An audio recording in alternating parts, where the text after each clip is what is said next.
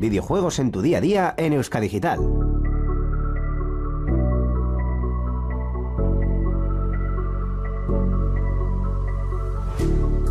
Muy buenas gamers, encended vuestras consolas, ordenadores y todo tipo de dispositivos porque una vez más hemos vuelto y ahora de verdad, así que todos a jugar.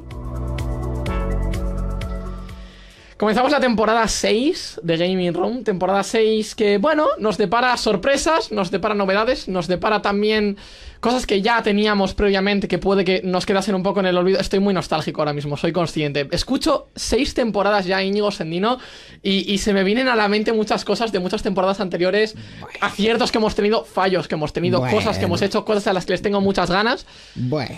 Se, se viene fuerte, suena, suena grande el número 6. Suena, muy grande. No sé por qué, pero me suena muy grande. Vale, eh, como voy a decir varias veces durante este programa y durante esta temporada, cuando llegues a 15, Hablamos, claro que sí. correcto, efectivamente. Es lo que tiene. Y nos acabamos de saltar el drop porque. Bueno, da o sea, igual. Eh, drop- empezamos la temporada o sea, fuerte. Drops son, los drops son como los programas de esta temporada. Los drops Va son- Va a haber más de uno. Mentira, los drops son los amigos que hicimos por el. Eh, eh, ese eslogan me parece muy bueno. ¿eh? Ah, que sí, está brutal. En cualquier caso, eh, como comentamos, temporada 6 que se avecina con muchas cosas, porque vamos a ir contando un poquito secretitos, ya que estamos en la intro, la primera noticia, que no es de la sección de noticias, que es de la introducción, va a ser qué esperamos de esta sexta temporada, claro que sí. Entonces, Sobrevivir. So- eh, totalmente, totalmente de acuerdo. Tengo ganas de volver a hacer entrevistas porque esta temporada pasada sí que es cierto que no hemos tenido muchas y de hecho entramos con una entrevista, vamos a hablar luego con, con Irina de Chivig, eh, que nos trae Mikan de Witches Mountain, una entrevista que me ha hecho muchísima ilusión porque es eh, un amor de persona, un amor de compañía, un amor de juego, es todo brutal y, me gusta como concepto. Entonces, todo lo que hace Chivig es bonito y a nosotros nos gustan las cosas bonitas, es tan sencillo como eso. Por otro lado, eh, aparte de las entrevistas, tenemos los eventos ya pertinentes, la Big, que es dentro de, de poquito, más proyectos que tenemos en mente y más cosas que no os quiero desvelar todavía hasta que no lo tengamos un poco cerca, pero voy a contar ya eh, un secretito, que es que si todo sale según nuestras planificaciones, vais a poder vernos en vivo y en directo. Si queréis venir a ver Gaming Igual Room hasta varias veces. durante más de, en- o sea, en más de una ocasión Igual hasta varias veces. en más de una ocasión. Esta temporada alone. O sea, quiero decir, tela. Y mm, tercero, que va un poquito de la mano con las movidas, pero bueno, ya estoy contando secretitos. Esta temporada cumplimos 100 programas. Hacemos 100 programas en febrero, no sé, creo que es a inicios de febrero, hacemos el, el- o sea, bajo el calendario que tenemos establecido, que es de aquí a dos semanas, ya sabéis, grabamos cada dos semanas. Eh, a mediados de febrero, inicios mediados de febrero, tenemos la grabación del programa número 100. Cerramos con el 110 en junio. Tres cifras, seis temporadas. ¿Por qué suena todo tan grande, Íñigo Sendino? Yo empecé a hacer esta mierda en 2019, en la Fan Sirius del 19. ¿Quiere- ¿Quieres caerte de culo? Porque yo te voy a dar datos para caerte de culo. ¿Sabes en qué temporada llegué yo en Sarean Sear al número 100? A ver, no- teniendo en cuenta, no sé qué frecuencia llevabas, pero teniendo en cuenta, suponiendo que llevas una frecuencia más elevada a la mía, voy a decirte que en la 3. Correcto, en la 3. Si es que, si es que soy Jesucristo. Hicimos una cosa muy chula que fue una especie de cuenta atrás del 100 al 110. Porque era, el 100 era una de las metas de la temporada y Sí. luego el 110 A ver, el 100 ser- siempre es una meta. Iba a ser el final de temporada. Hicimos una cosa que, que ahora la oyes y bueno, quedó ridiculísima, pero. Porque, Íñigo era feliz. porque hace pues como eh, 12 años de toda esta historia. Hostia, tú. Me acaba de venir todo. Hace como 11, 12 años. Cuando tenías pero- menos años que yo. Claro, obviamente. Pero oye, que al final, mm, quiero decir, eh, mm, se pueden hacer cositas y el 110... El 110 y la temporada 6, pues eh, va a ser los amigos que hagamos por el camino Te este quiero, año. te quiero decir, o sea, a mí siempre me sorprenden estos números. Claro, yo empecé con Gaming Room haciéndolo mensual, encima con pandemia, tela, tú empezaste haciéndolo semanal, doy por hecho. Efectivamente. Luego me sorprende, pues, otro tipo de podcast, como nuestros amigos de Sector Gaming. Un saludo desde aquí a Xavi, si nos está escuchando, que llevan 182 programas, por ponerte un ejemplo. Bueno, poquito. Y llevan menos temporadas que nosotros, si no nos equivoco. Creo que llevan cuatro o cinco temporadas. Porque estos graban uno semanal, pero llevan haciéndolo todas esas temporadas. Eh, están también los chicos de New Player. Voy a mencionar gente que, de hecho, durante esta temporada posiblemente vayáis escuchando.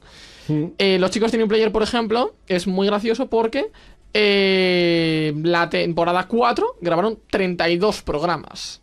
Sí. Y en la Es que al final, 5... si te pones a grabar eh, un programa semanal Claro. eh, durante. Y que la gente cierra muy tarde, ¿eh? Todos, durante todas las semanas del año, salvo Sí. julio y agosto, pues terminas haciendo pues esos 42 menos, menos 8, pues 34. Pero que esta gente hace muchas movidas. Y luego también que sí que es cierto que la gente se toma muchas No, menos perdón, vacaciones que 52 menos nosotros. 8, 40 y pico. La gente se toma muchas menos vacaciones que nosotros. O sea, quiero decir, la gente no lleva esta regularidad, pues porque te he mencionado eh, los 42 programas, pero en la temporada 3 hicieron 37. La gente no lleva esa regularidad. Pero también es cierto eh, que la gente, lo que te he dicho, termina mucho más tarde y empieza mucho antes. Los de New Player, por ejemplo, eh, cierran en julio y empiezan en septiembre.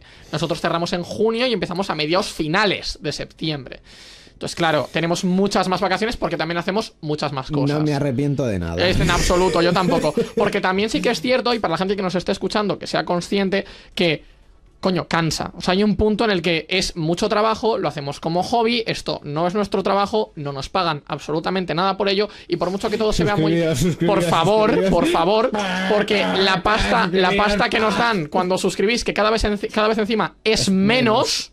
Porque a Twitch le gusta joder a sus eh, creadores de contenido, salvo los que son muy grandes.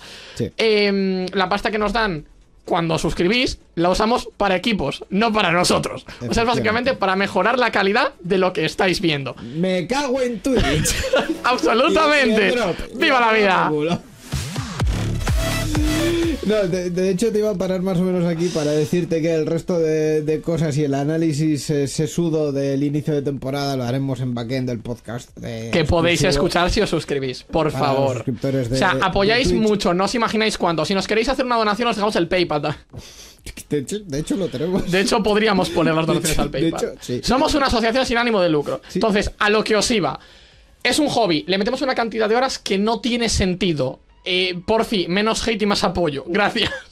Bueno, en el programa de hoy, aparte del sumario, vamos a tener dos cosas muy importantes. A ver. Primero, el sumario. Primero el sumario. Segundo, las noticias. Y tercero, tengo aquí eh, una lata de ladrón de manzanas. eh, que. mm, Desde Euska Digital no fomentamos el consumo del alcohol. Eh, Por favor, haz un consumo responsable. sí, por favor. Eh, ha venido directamente. Ministerio de Interior, Gobierno de España. Ministerio de Interior o de Consumo. Bueno, ha, venido directamente de la inauguración del nuevo local de Mano del Friki. Que luego Correcto. hablaremos con. con Pero que podéis ir a verlo. El Cano 5, Baracaldo. A dos minutos de la parada de metro de. Baracaldo y de la salida del Cano. Hice echar un ojo porque está muy guapo. Eh, lo que te iba a decir es que esta lata va a ser abierta. Tú eliges cuándo. Ahora, Ahora. por- ¿pero por qué tendría yo que elegir, Íñigo, cuando Sí. abres tu lata de ladrón de Pues, manzana? pues- pues porque yo creo que. La serie está buena, eh, también te digo. de esta, de esta, de solo manzana original no he, no he bebido. Está buenísima, yo probé ayer. También te digo una cosa, eh, a lo mejor podemos conseguir patrocinio en ladrón de manzanas para ciertas cosas, ya que Miguel lo ha conseguido. Lo cual está de puta madre. Está muy bien. Vamos a intentar hacer menos tacos esta temporada también. Voy a ¿Menos intentar. tacos? Voy a intentar. como siempre, me pongo los mismos retos todas las temporadas y luego acabo sin cumplirlos. Pero hablar más lento, a.k.a. vocalizar más, porque si hablo a la misma velocidad pero se me entiende mejor, es una victoria. Sí. Hablar más bajo y decir menos tacos. Vamos a intentarlo. Íñigo, déjame, déjame intentarlo. Por cierto, que estaba súper desconectado del absoluto chat. Sí. Eh, un saludo a mi tío que está por aquí, un saludo a mi madre que está por aquí y un saludo a Borja Herbosa que se ha suscrito por 35, 35 mes. Se ha suscrito. Gracias, Borja, gracias. Borja Arbosa. Gracias. eh, a mi madre le gustan los propósitos. ¿Por qué será no será? Porque ella me ha dicho la mitad. Efectivamente. Bien, bien, bien. Es, es un poco obvio, ¿no? Estupendo. Es lo que tiene. Bueno, dicho esto, Dicho esto- lata abierta, eh, nos queda empezar con este programa, así que Hoy en Gaming Room. Comentaremos las últimas noticias, incluyendo la prueba técnica, entrecomillada, de PlayStation 5 Pro. Íñigo ya se está descojonando, riéndose. La denuncia de Nintendo a Palworld y el lanzamiento de Mika and the Witches Mountain. mencionaremos también la crisis de Ubisoft, el fracaso de Concord y el lanzamiento de Cash Cow DX. Tras eso, Miguel nos traerá la revista Loop de Game Report, que lanza el crowdfunding de su séptima entrega el 2 de octubre. De su séptima entrega y de su cuarto año. que es para Efectivamente, cuarto- siempre lo hace en la métrica por año. Toda esta movida luego os la contamos. Y por último, vamos a tener una entrevista muy especial. Hemos dado, pero todos los recursos. ¿eh? Totalmente. Hemos echado, hemos echado todo aquí. En Es, la- primer es el primer programa, hay que venir fuertes. Y vais a ver eh, que hemos echado todo. Hablaremos con Irina Moreno de Chivik, que nos va a hablar pues del juego que hemos mencionado antes, Mika and the Witches Mountain, que además lo hemos probado. Y que además, bueno, to- todas estas cosas vamos a hablar con ella eh, os va a encantar este programa, yo creo que sí. Comenzamos. Contacta con nosotros por email en la dirección gamingroom.euskadigital.eus, en nuestra página web gamingroom.euskadigital.eus y mediante Twitter escribiendo al usuario gamingroom barra baja ed. También nos puedes escuchar en iVoox, Spotify, Apple Podcast y Google Podcast.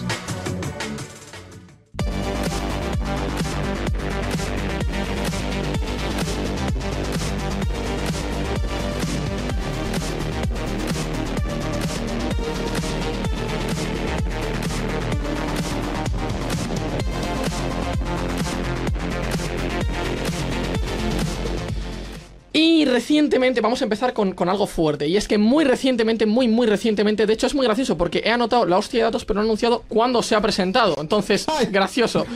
La PlayStation Funny. 5 Pro se anunció eh, pues en- en un evento, de hecho, dedicado expresamente a ello.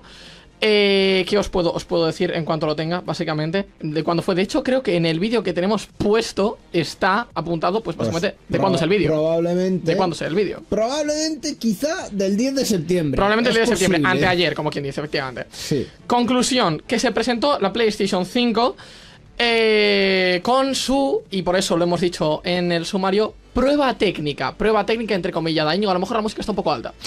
Prueba técnica entre Puedes comillas. hacerme gestos en vez de decir. También, sí, es que no sabía cómo hacerlo, Íñigo, no soy técnico de Eh, sonido. Acaba, acaba de olvidar toda la radio. O sea, seis temporadas acaban de irse por el retrete. Gracias. Bueno, la sexta todavía no la hemos empezado, estamos Bueno, en ello. cinco temporadas. A lo que vamos, basura. la PlayStation 5 Pro que se anunció que estaría disponible, de hecho, el 7 de noviembre de este nuestro 2024. Es decir, bastante rápido, a vista de eh, dos meses.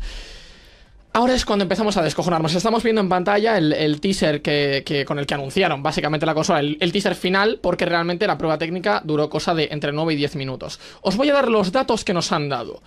Tiene más aleroncitos. Literalmente, la GPU es más potente porque tiene, agárrense a sus sillas, un 67% más de unidades de cálculo. ¿Y Gaska cuántos tiene la anterior? Buena pregunta. Y una memoria un 28% más rápida. ¿Y qué frecuencia tiene si la los- memoria si anterior? los Buena cuadraditos pregunta. se dividen, es que son más. Íñigo, por Dios. Conclusión, nos No, no, han yo dado... Estoy, yo estoy traduciendo el lenguaje No, sí, sí, Sony soy, a- soy a consciente. Lo que me da rabia es que, como nos lo están mostrando en pantalla ahora mismo y como nos lo mostraron en su momento, es literalmente técnica de venta de Apple. Sí, sí, Sony, no cual. sois Apple. O sea, tracing, no intentéis vale. decirme que this is the best iPhone we've ever made, porque eso ya he hecho esa coña tres veces en Sarean Sear. Podéis ir a escuchar el primer programa de la temporada de Sarean Vertical Sear. Stand Sol Separated. Ve- ¿eh? Vertical Stand Sold Separately. ¿Y sabes qué más no te dicen ahí? A ver. Que el lector de discos también Sold Separately. Sí, sí, es verdad. Entonces, Pero GPU más potente. justos, creo recordar que el lector de discos en este último frame que vamos No a, se ve. A mm, repasar en este momento, ¿Correcto? no se ve. No se ve, claro. Por lo tanto, bueno, Es all digital. por lo menos lo que se ve te avisan que hay algo que es Correcto, a lo que te voy. En una prueba técnica, tú me enseñas hardware, me das números. Ajá. Soy ingeniero, quiero números, por favor y gracias. Entonces, me das numeritos, me das numeritos y me dices por qué es más rápida. Me haces comparativas reales. No, se han dedicado durante 10 minutos a mostrarme juegos ya no solo de PlayStation 5, sino de PlayStation 4 también. Si lo corre una Play 4, pues obviamente una Play 5 Pro lo va a correr mucho mejor. No te jode. Sí, obviamente. Eh, y se han dedicado a enseñarme numeritos y cosas absurdas. Rollo, lo que les interesaba vender a ellos es que la Play 5 se supone que es capaz de correr todos los juegos en calidad, porque tiene dos tipos de, de- de modo, rendimiento y calidad. Si lo que quieres es ver tu juego más bonito, lo juegas en 4K 30 frames y el juego se ve de la hostia, en ultra. Si lo quieres que corra más rápido, tú puedes ponerlo en 4K 60 y verlo un poco peor, en calidad más intermedia, usando DLSS y técnicas de ampliación, de escalado de no sé qué. Depende de a qué porcentaje lo escales, es decir, prueba técnica rápida.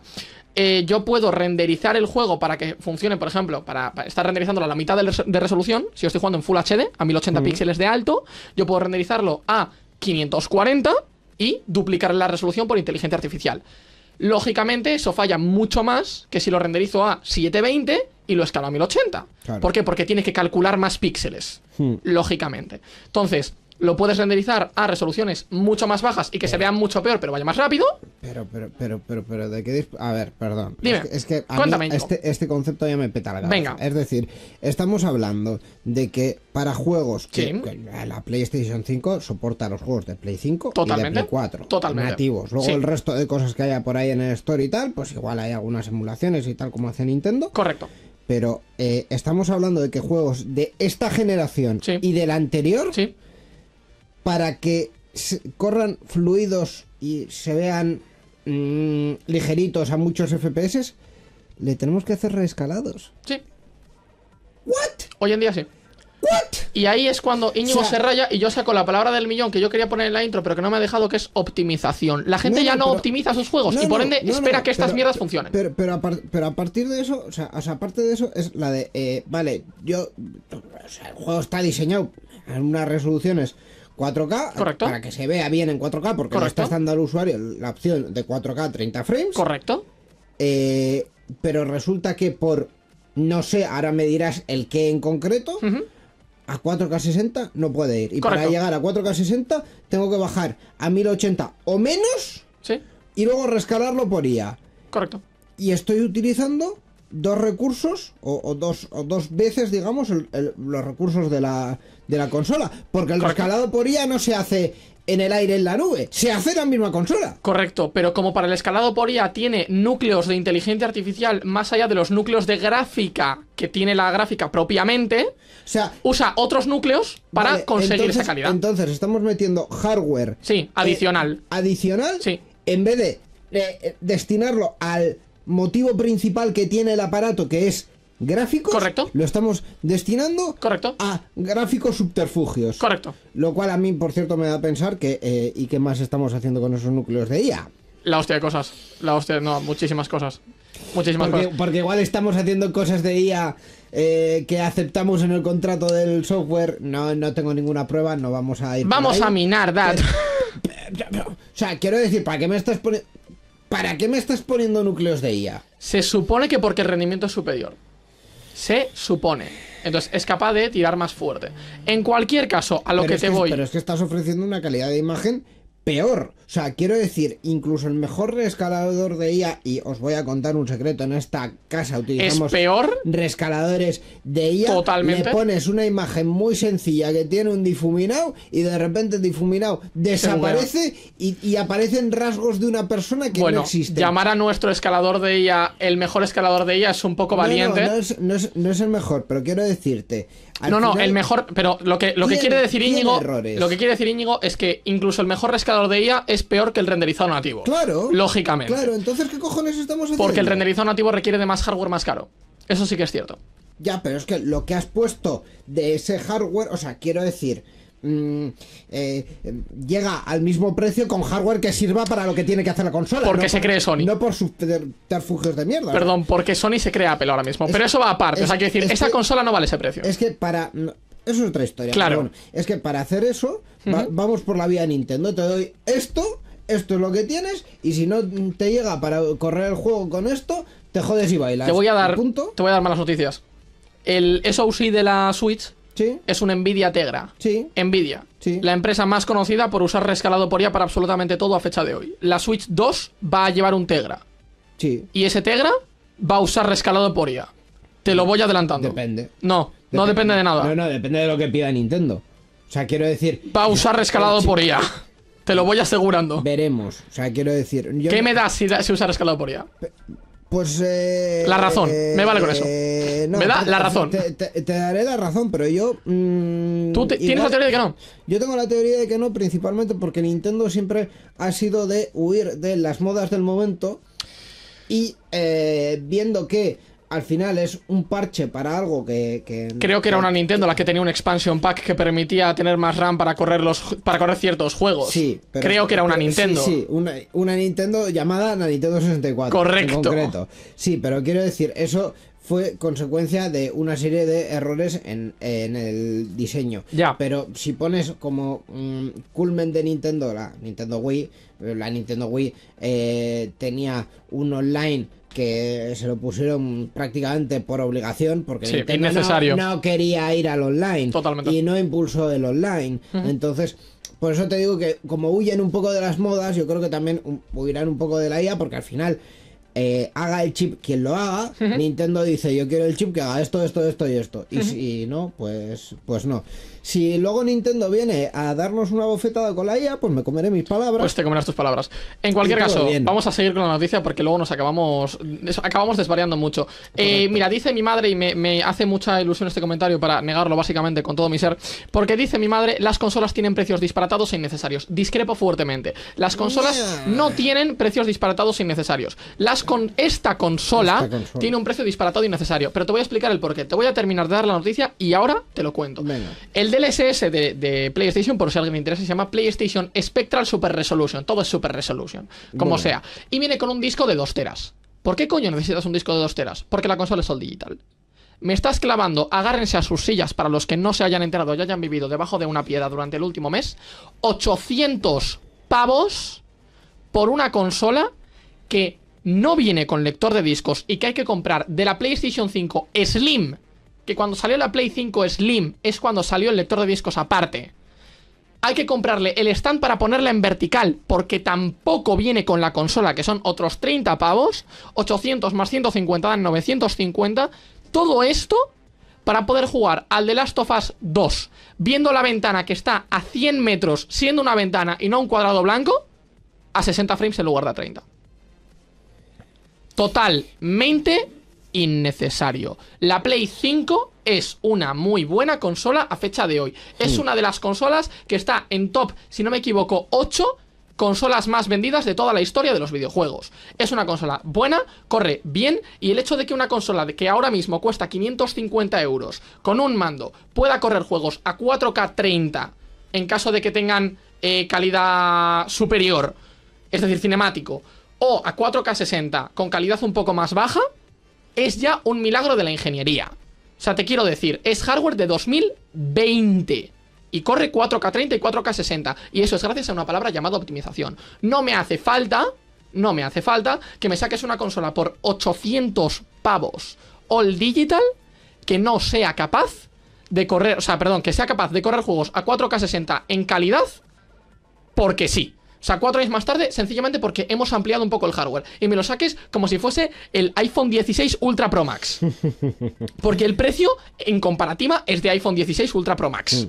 Hombre, la parte buena que puede tener eso es que se supone, se rumorea que la PlayStation 5 Slim eh, sin, sin disco va a bajar un poquito de precio. Más le vale. Puede, puede que se empiece a vender por 400 euros. Si vais a comprar la PlayStation 5 Slim, que sea la que tiene lector de discos. Por favor. O si vais a comprar la Slim sin lector, le compráis un lector de discos. O si no, os compráis la Play 5 normal. Repito, la Play 5 es una muy buena consola. A mí es una consola que me gusta. Yo no la tengo porque ahora mismo no soy usuario del formato de escritorio. Pero es una buena consola. Y si queréis una consola para vuestro hijo que eh, está jugando al Fornite y que quiere jugar y le queréis también instruir en juegos un poco de calidad, la Play 5 es muy buena consola, repito, porque juegos como el Senua, como el, Last- como el de Last of Us, juegos que son cinemáticos, que realmente lo que tiene el juego es que es bonito, no que tenga que correr rápido, no es un Call of Duty, no es un Counter-Strike, no es un Valorant, tiene que, tiene que verse bonito. Os voy a dar una pistita para los que no lo sepáis, las películas en el cine van a 24 frames. Y van a 24 frames porque se supone que esa es la calidad estándar a la que un ojo humano ve una secuencia de imágenes fluida. 30 está justo por encima de 24. No es un número aleatorio.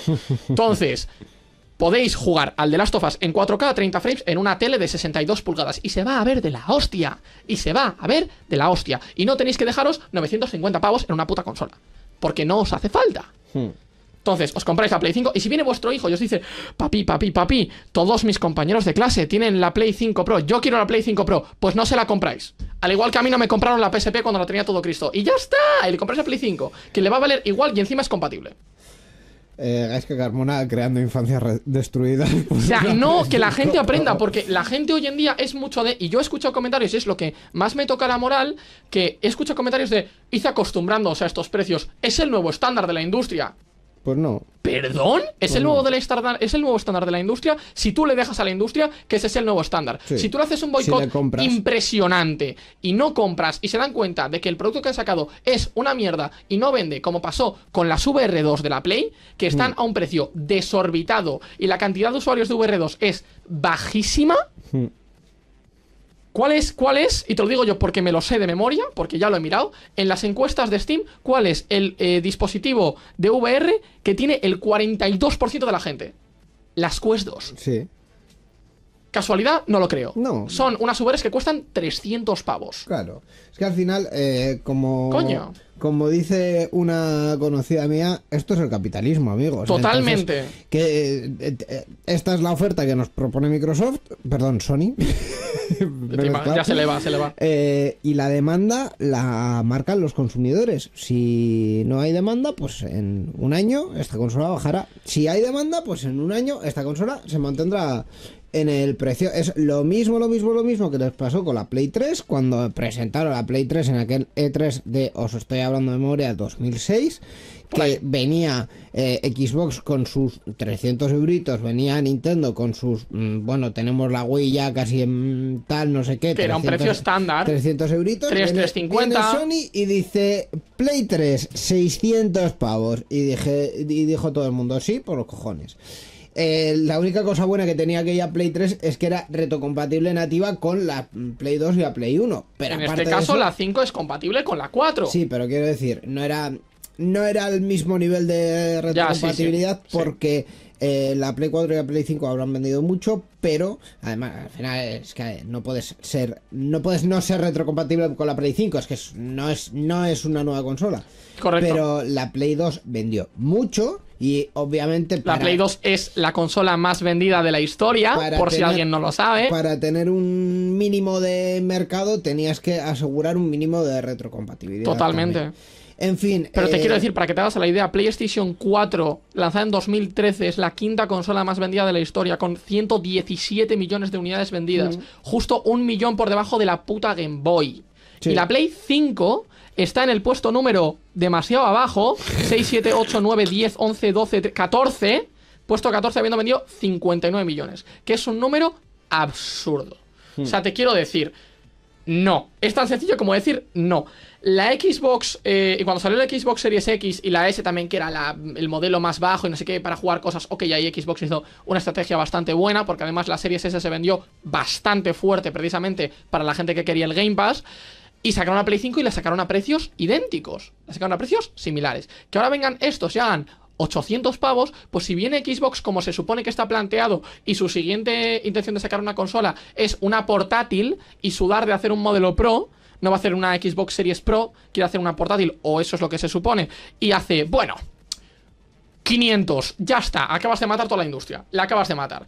La Nintendo Switch salió a 300, la OLED a 350. A día de hoy puedes encontrar Nintendo Switch nuevas por 220. Nintendo Switch OLED entre 280 y 300 pavos. La Nintendo Switch 2 yo le calculo que salga a 450. Si sale por menos de ese precio, me llevaría una muy grata sorpresa, porque se supone que la Switch 2 va a tener hardware equivalente a una Play 4 Pro, cosa que me gustaría mucho ver, porque es algo muy potente sin necesidad de llegar a un estándar actual tan alto en el que el precio de la consola se te vaya a las nubes. No creo que Preferiría salga por 450, yo creo que saldrá por menos. 400 como poco. Yo le calculo mínimo un aumento de 100 pavos. Estamos hablando de que han pasado 7 años. Y previsiblemente pasen 8 antes de que salga. La inflación está fuerte. 8 antes de que salga. Dentro de 8 años dices No, que va a ser- 8 años que salga. Es Ah. decir, el que viene. Yo le calculo que se anuncie. Está habiendo muchas filtraciones, muchos rumores. Salió el otro día una noticia que no vamos a comentar porque es un bulo de una japonesa que había impreso en 3D un clon de la Switch, pero haciéndole ligeras modificaciones y la gente creyéndose que eso era la Switch 2. Hay gente diciendo que la Switch 2 va a tener dos pantallas como una DS. O sea, te quiero decir, hay unas fumadas de la hostia. Pero también salió, acuérdate, el kit de desarrollo de Play 5 con su forma de V. Y la gente estaba diciendo que qué caro era eh, un, un puto cartón para la pizza. O sea, te quiero decir. Y eso tampoco era la Play 5 real. Yo- Hay muchísimas filtraciones. Yo, yo- no yo- preveo que se anuncie antes de abril del año que viene. Fin de año fiscal. Pista. Yo pista. no, yo no sé si Nintendo intentará mantener otro año. Si las ventas no van muy mal en la OLED, Las ventas van de la hostia. Pues si las ventas van de la hostia, ¿para qué vas Porque a el hardware no da para más. Porque estás queriendo sacar sí, sí, sí. No. O sea, que- quiero decir, sí, que el, que el hardware no da para El más. hardware no da más. Que, que el hardware no da para más, estupendo. Pero las, las empresas siguen haciendo juegos para la No pueden. Switch. Es que hay un punto ya en el que no pueden. El Tears of the Kingdom la- es un milagro de la ingeniería. ¿Las siguen haciendo? Sí. ¿Se siguen sacando juegos para la Switch? Sí. ¿verdad? Ya, no, pero el problema ¿Y no es sigo, y sigo vendiendo consolas como churros? Pues tiro un año más. El problema no es el problema no es que Switch eh, siga sacando, o sea, que para Switch se sigan sacando juegos, sino que el propio estudio interno de Nintendo está intentando abarcar por encima de las posibilidades. Se ha anunciado el Metroid Dread, o sea, el Metroid Dread, perdón, el, perdón, el Metroid 4 se anunció, Sí. en, vimos en Nintendo Direct no sé cuál, no sé cuántos, se anunció el Metroid 4.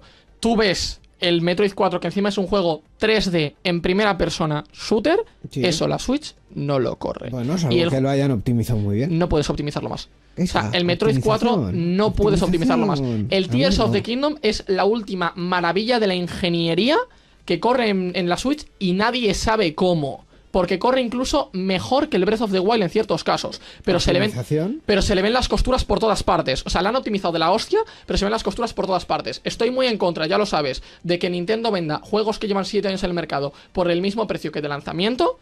Pero sí que es cierto que su estudio interno hace maravillas, tanto en historia como en jugabilidad, como en optimización. Y eso es así. Pero hay un punto ya en el que el hardware no da más. Y 4 GB de RAM dan hasta donde dan. Hardware del 2017, equivalente a una Radeon HD, da hasta donde da. Switch necesita una consola nueva. Estoy esperando verla. Estoy esperando a que dure otros 7 años en el mercado. Me encantaría. Porque cuanto más vayamos acercando, y eso es algo que me está dando mucha rabia en la industria, cuanto más vayamos acercando los lanzamientos de consolas, Menos cada menos hay que comprarse una consola nueva Claro. por otros 800 pavos según el estándar de la gente. Me niego a la vida.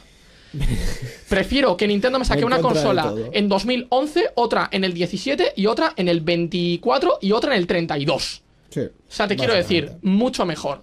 Entonces, me quedo con Nintendo y cada vez me estoy quedando más con Nintendo. Yo que era hater de Nintendo absoluto como hater de Apple, pues de Apple sigo siendo, pero Nintendo cada vez me está encantando más. El estudio interno es la hostia y lo que hacen es la hostia. Veremos una Play 6 encima, según rumores, en 2028 porque la generación terminará en 2027. Sí. Me acabas de sacar hardware nuevo que sale el 7 de noviembre de este año y no puede tirar 4 años. Increíble. Pues nada, se nos avecina un otoño Se interesante. nos avecinan tiempos en- oscuros. en- Nos quedamos todos con Nintendo. Y en noviembre nos quedamos todos. Eso me gusta, ¿eh? La parte de nos quedamos to- todos con Nintendo me gusta, pero aún así, en noviembre veremos muchos titulares y a ver qué dicen sobre esa Play 5 Pro.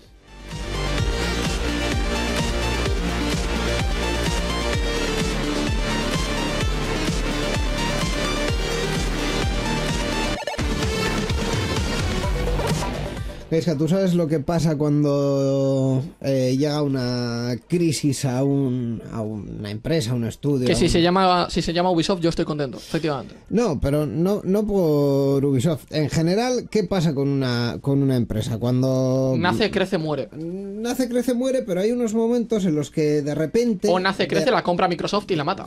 También. Eh, de repente eh, parece que todo está tranquilo y todo está bien y, mm, salta una chispa, enciende, enciende una mecha Ya sé por dónde vas. y empezamos a, a decir que todo está en llamas, ¿no? Pues Sé por dónde vas, pero- que es, creo que es un poco lo que ha pasado o lo que suele pasar. Ahí te lo compro. No Eh, es el caso. eh, No es el caso. Claro, pero el, el dato alarmante viene al final de que alguien ha levantado la liebre. Correcto. Es decir, eh, ¿qué ha pasado estos días con Ubisoft? Una, un inversor que se llama AJ Investments eh, ha empezado a decir que la gestión de Ubisoft, esto es una puta mierda. Y tiene toda la razón del universo. No me estáis haciendo ganar dinero, se están haciendo las cosas mal, tacata, no Da, el dato que tienes encima, dalo, dalo. Claro, dalo. el dato, el dato, el, como decía Antena tre- eh, Telecinco, El da- dato. el dato pone lo que pone, pues aquí pone que eh, desde 2018 las acciones de Ubisoft han caído un 89%, desde 2018. Esto ¿Tú es- sabes lo que es un 89%? Un 89% es quedarte con un décimo del valor de tu acción, efectivamente.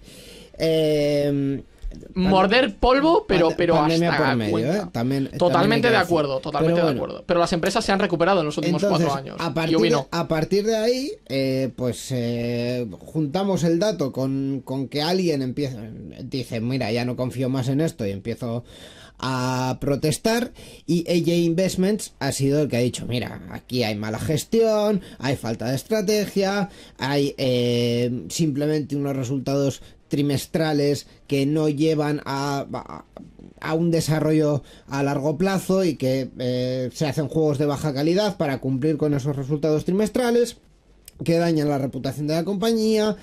Hay demasiada gente, son los, los- las eh, firmas de, de inversión siempre os suelen decir, siempre en todos los sitios, eh, y os remito al caso más Orange, siempre dicen que hay demasiada gente, o sea, es, es la hostia. Eh, Eres por todas partes. ¿Es tu cumpleaños? Mira, te hemos regalado un Ere. Te hemos regalado a la puta calle. Eso, eso también lo vimos a, a Te hemos regalado la- una casa debajo del puente. de la temporada pasada. Eh, con todo esto, ¿qué dice AJ? Pues AJ dice, primero, bajar costes y el coste más gordo siempre en todas las empresas es personal. eh, vender estudios que no sean esenciales para las principales franquicias y centrarnos en los nombres grandes Assassin's Creed, Rainbow Six Siege, Far Cry, Watch Dogs, Tom Clancy, etcétera. Que son los que pueden reportar ganancias. Eh, si las cosas se hacen bien. eh, Yo aquí Sí, porque es una industria que tiene. O sea, no, yo aquí- yo son aquí te- sagas que tienen mucho recorrido. Sí, pero aquí te niego la mayor en eso porque mm, eh, siendo cierto que Sí.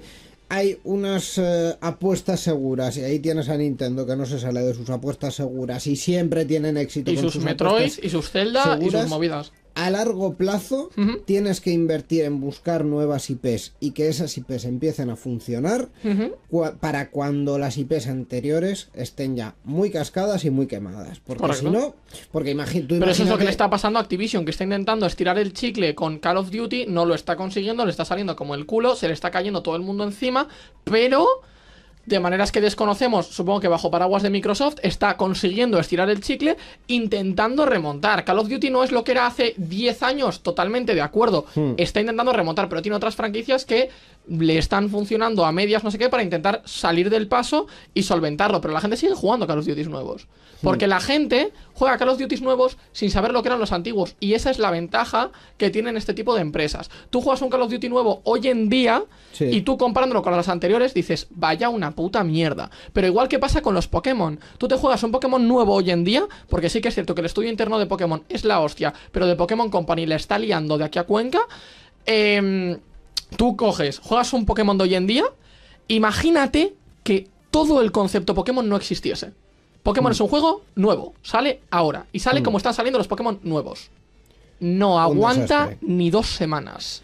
Claro, porque por- es una mierda, pero Claro. juegan con una cosa llamada nostalgia, Nostalgia. por la que te agarran de los huevos y te dicen vas a comprarte el nuevo Pokémon. Claro. Porque Por- es el nuevo Pokémon. por eso eh, la receta de AJ, yo no estoy del todo de acuerdo en, en eso, porque hay que buscar franquicias nuevas. Porque no Totalmente puedes- de acuerdo. No puedes vivir de los últimos eh, 10 Pero años. AJ quiere ganar dinero y las franquicias pequeñas son un coste de personal por unos beneficios bastante reducidos. ya, Yo lo ya, entiendo, ¿eh? Yo pero- lo entiendo. Pero, pero si precisamente. no estoy de acuerdo, pero lo Si entiendo. precisamente uno de los puntos que dice AJ es que además lo tengo aquí, está seis líneas por encima, Sí. falta de estrategia a largo plazo. Totalmente. En la estrategia a largo plazo tiene que haber eh, un mantenimiento de, de las IPs que tienes, tiene que haber un plan de, de finalización también Ujú. Y tiene que haber un plan de inicio de, de- de nuevas IPs que te sigan reportando, que te atraigan nuevos jugadores y que te sigan reportando éxitos, porque si no, no hay forma.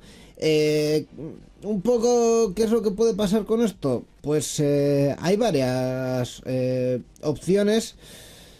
Eh, alguna con algo más sentido que, que otra. eh, pues por A mí me ejemplo- encantan los posibles futuros, o sea, suena todo, suena todo brutal, a mí me gustan. Me gustan no, todas. A, a mí, a mí no, salvo una, el resto no, porque al final eh, hay veces que las empresas hay que hornear como si esto fuese un bizcocho y hay que esperar a que la cosa, aunque esté abajo, suba y tal y cual. Entonces, opciones, salida de bolsa, es decir, eh, que no cotice el valor en bolsa y que por lo tanto estas fluctuaciones de subida-bajada eh, no estén afectando todo el rato a los resultados y que todo el rato la, junta directiva y los gestores no estén pensando en el resultado de este trimestre.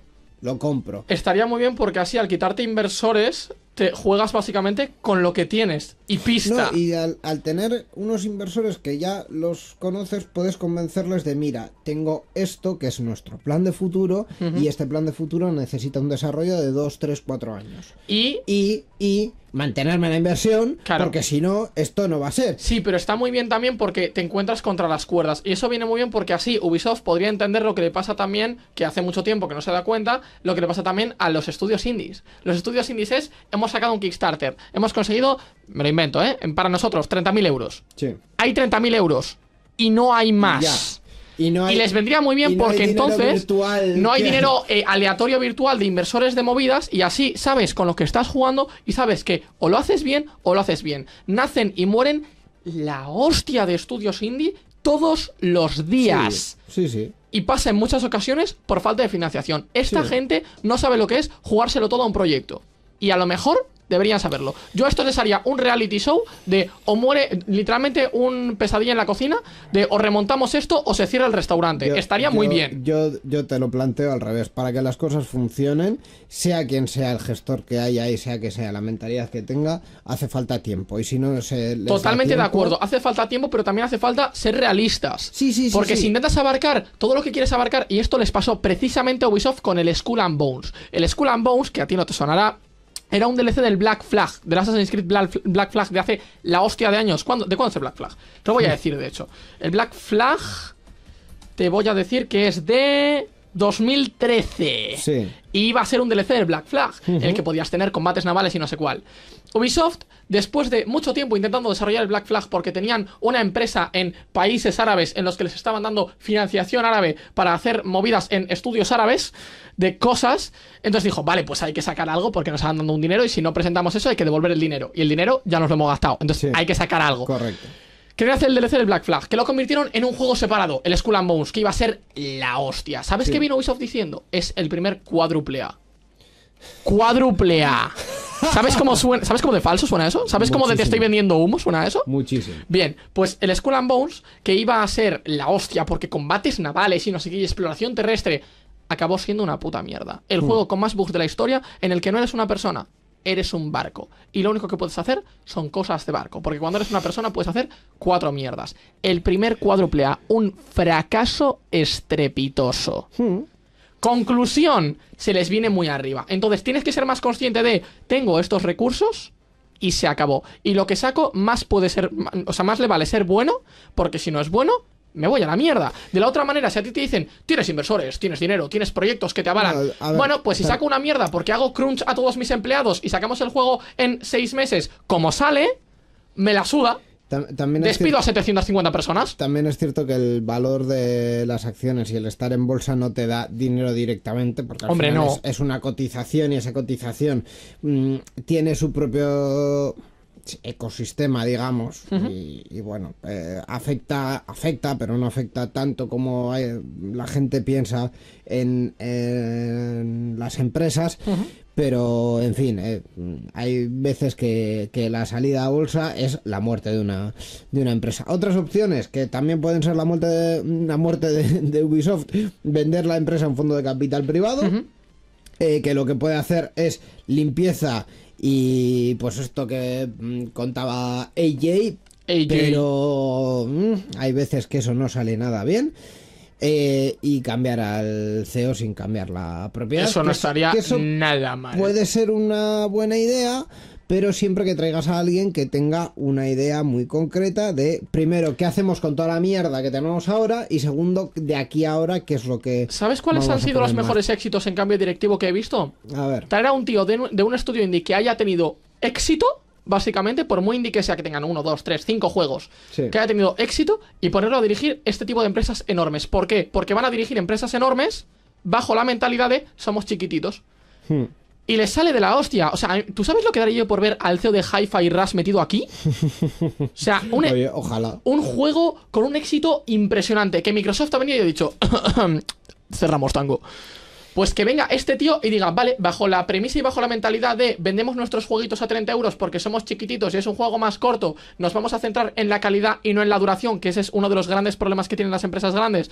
Nos vamos a centrar en la calidad y no en la duración y vamos a intentar desarrollar lo mejor que podamos en el tiempo que necesitemos.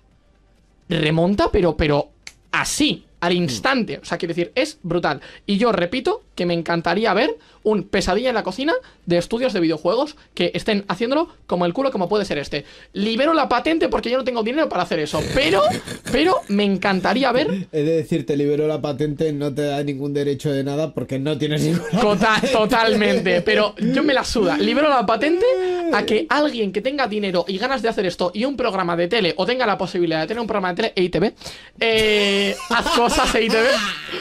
Alguien que tenga un programa de tele que coja y haga, vamos a ir a estudios de videojuegos a demostrarles cuál es la realidad y que o funciona o se chapa. En fin, pues Y eh, con esto que que el que ha levantado la liebre, ¿qué opciones tiene? Pues eh, teniendo en cuenta que mm, son pequeñitos, necesitarían el apoyo de la familia Guillemot y de Tencent, que son los que tienen el 25% de las acciones, pero la verdad es que... No, no, quieren hay- desafiar a Guillemot y a hay Tencent. que- Bueno, pero necesitan su apoyo. Ne- no, necesitan el de otros. Ah, necesitan el de para otros. tumbar a esos. Vale, perdón. Eh, pero en cualquier caso, eh, aunque han levantado la liebre, la situación no es tan catastrófica No, lo como cierto es que no. gente dice. Lo cierto es que no. Por eso, Por mucho que haya caído en bolsa una barbaridad, eh, Ubisoft no ha perdido tanta pasta. ¿Ha perdido la hostia de pasta? Sí. Y ha perdido, sobre todo, mucho más importante que el dinero, fiabilidad de los usuarios. Toda. credibilidad, sí. pero- Efectivamente, esa es la palabra. Pero, siempre hay que coger lo que dice un inversor sobre una empresa y sobre una empresa a la que Hay tiene que cogerlo con pinzas. Hay que cogerlo siempre con bastantes pinzas.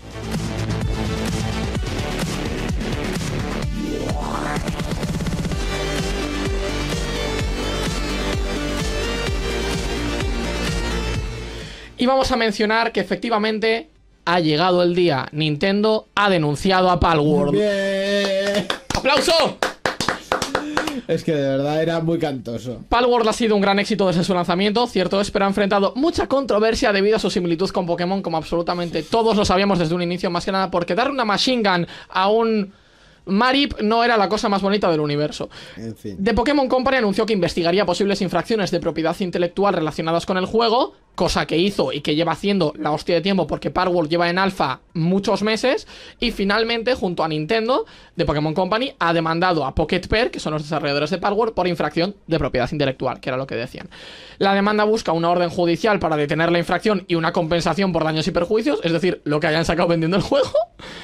Eh, y para los que vivan debajo de una piedra y no se hayan enterado de qué va toda la movida, Palworld presenta criaturas llamadas Pals, Pokémon, que son muy similares a algunos Pokémon, con diseños que parecen copias con ligeras variaciones, y algunos que son copias literales. Creo que esto va un poco más a raíz de que los últimos que han diseñado y que han sacado al juego son aún más vastos. O sea, las copias son aún más vastas, y los modos de juego también. Todo el tema de propiedad intelectual y Nintendo ya no Todos sabemos cómo es Nintendo. Eh, si de- llaman a tu hijo Luigi, te Si llamas a tu hijo, si hay un niño llamado Luigi en un orfanato en Italia, pues se bombardea el orfanato, Correcto. efectivamente.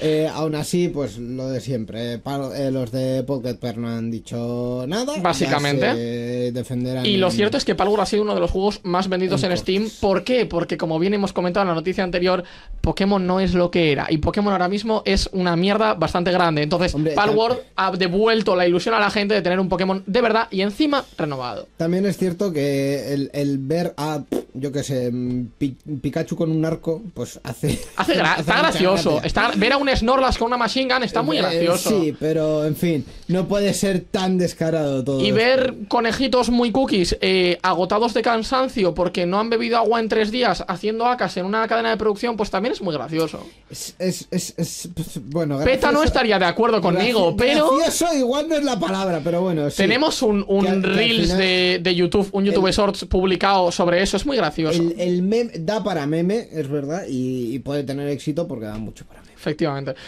Eh, en cualquier caso, eh, lo que sabemos por el momento es que la situación legal podría y, y será prolongada, 100%, porque esto es Nintendo. Y queda por ver cómo Pocket Pair responderá a la demanda y si ajustará su contenido para evitar conflictos adicionales. Doy por hecho que sí, pero repito, queda mucho por ver porque la última vez que vimos el juego estaba en alfa y le quedaba aún rato de desarrollo. Yo rezo para que incluso si tumban Palworld, Pokémon se lo haga mirar, porque ahora mismo Pokémon está en una situación muy, pero que muy negativa. Incluso si toman el juego, me la suda, puede que se asocien con la compañía para poder hacer juegos mejores, que eso estaría bastante guay. Nos quedamos con eso. Eh, mucha suerte a Pocket Pair porque la va a necesitar, porque si te llamas Luigi, Nintendo va por ti. Y la gran N pues hará lo que hace siempre, que es demandar gente. Claro. Correcto. En fin, hablando de fracasos mayúsculos también, vamos, me he Uh. dejado las mejores noticias para mí hoy. ¿eh?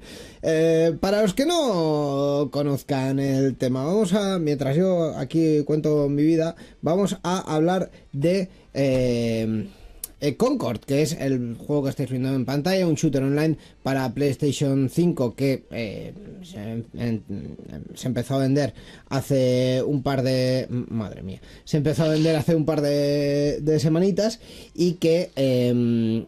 eh, Solo vendió pues 25.000 copias. Que en por si no calculáis economía, es una puta mierda de evento. Y Sony dijo, bueno, tanquen la paredeta y toma por culo. A los que compraron les devolvió el dinero y bueno, pues al final no, no ha habido ningún ingreso por esto, porque al final, pues, pues, pues, eh, nada. Em, Así, por ver cuánto es el destrozo, pues 400 millones de dólares de desarrollo, eh, uno de los juegos Que más se dice de la rápido. historia y una de las inversiones más altas de Sony, sin contar que también se gastaron sus dineros en el estudio Firewalk, que eh, es el que hacía este juego. Sony que decía en su momento, pues que esto era el futuro de PlayStation, que era una franquicia que les iba a durar. El primer. Ponme, rever, ponme rever, ponme rever. El primer cuádruple A.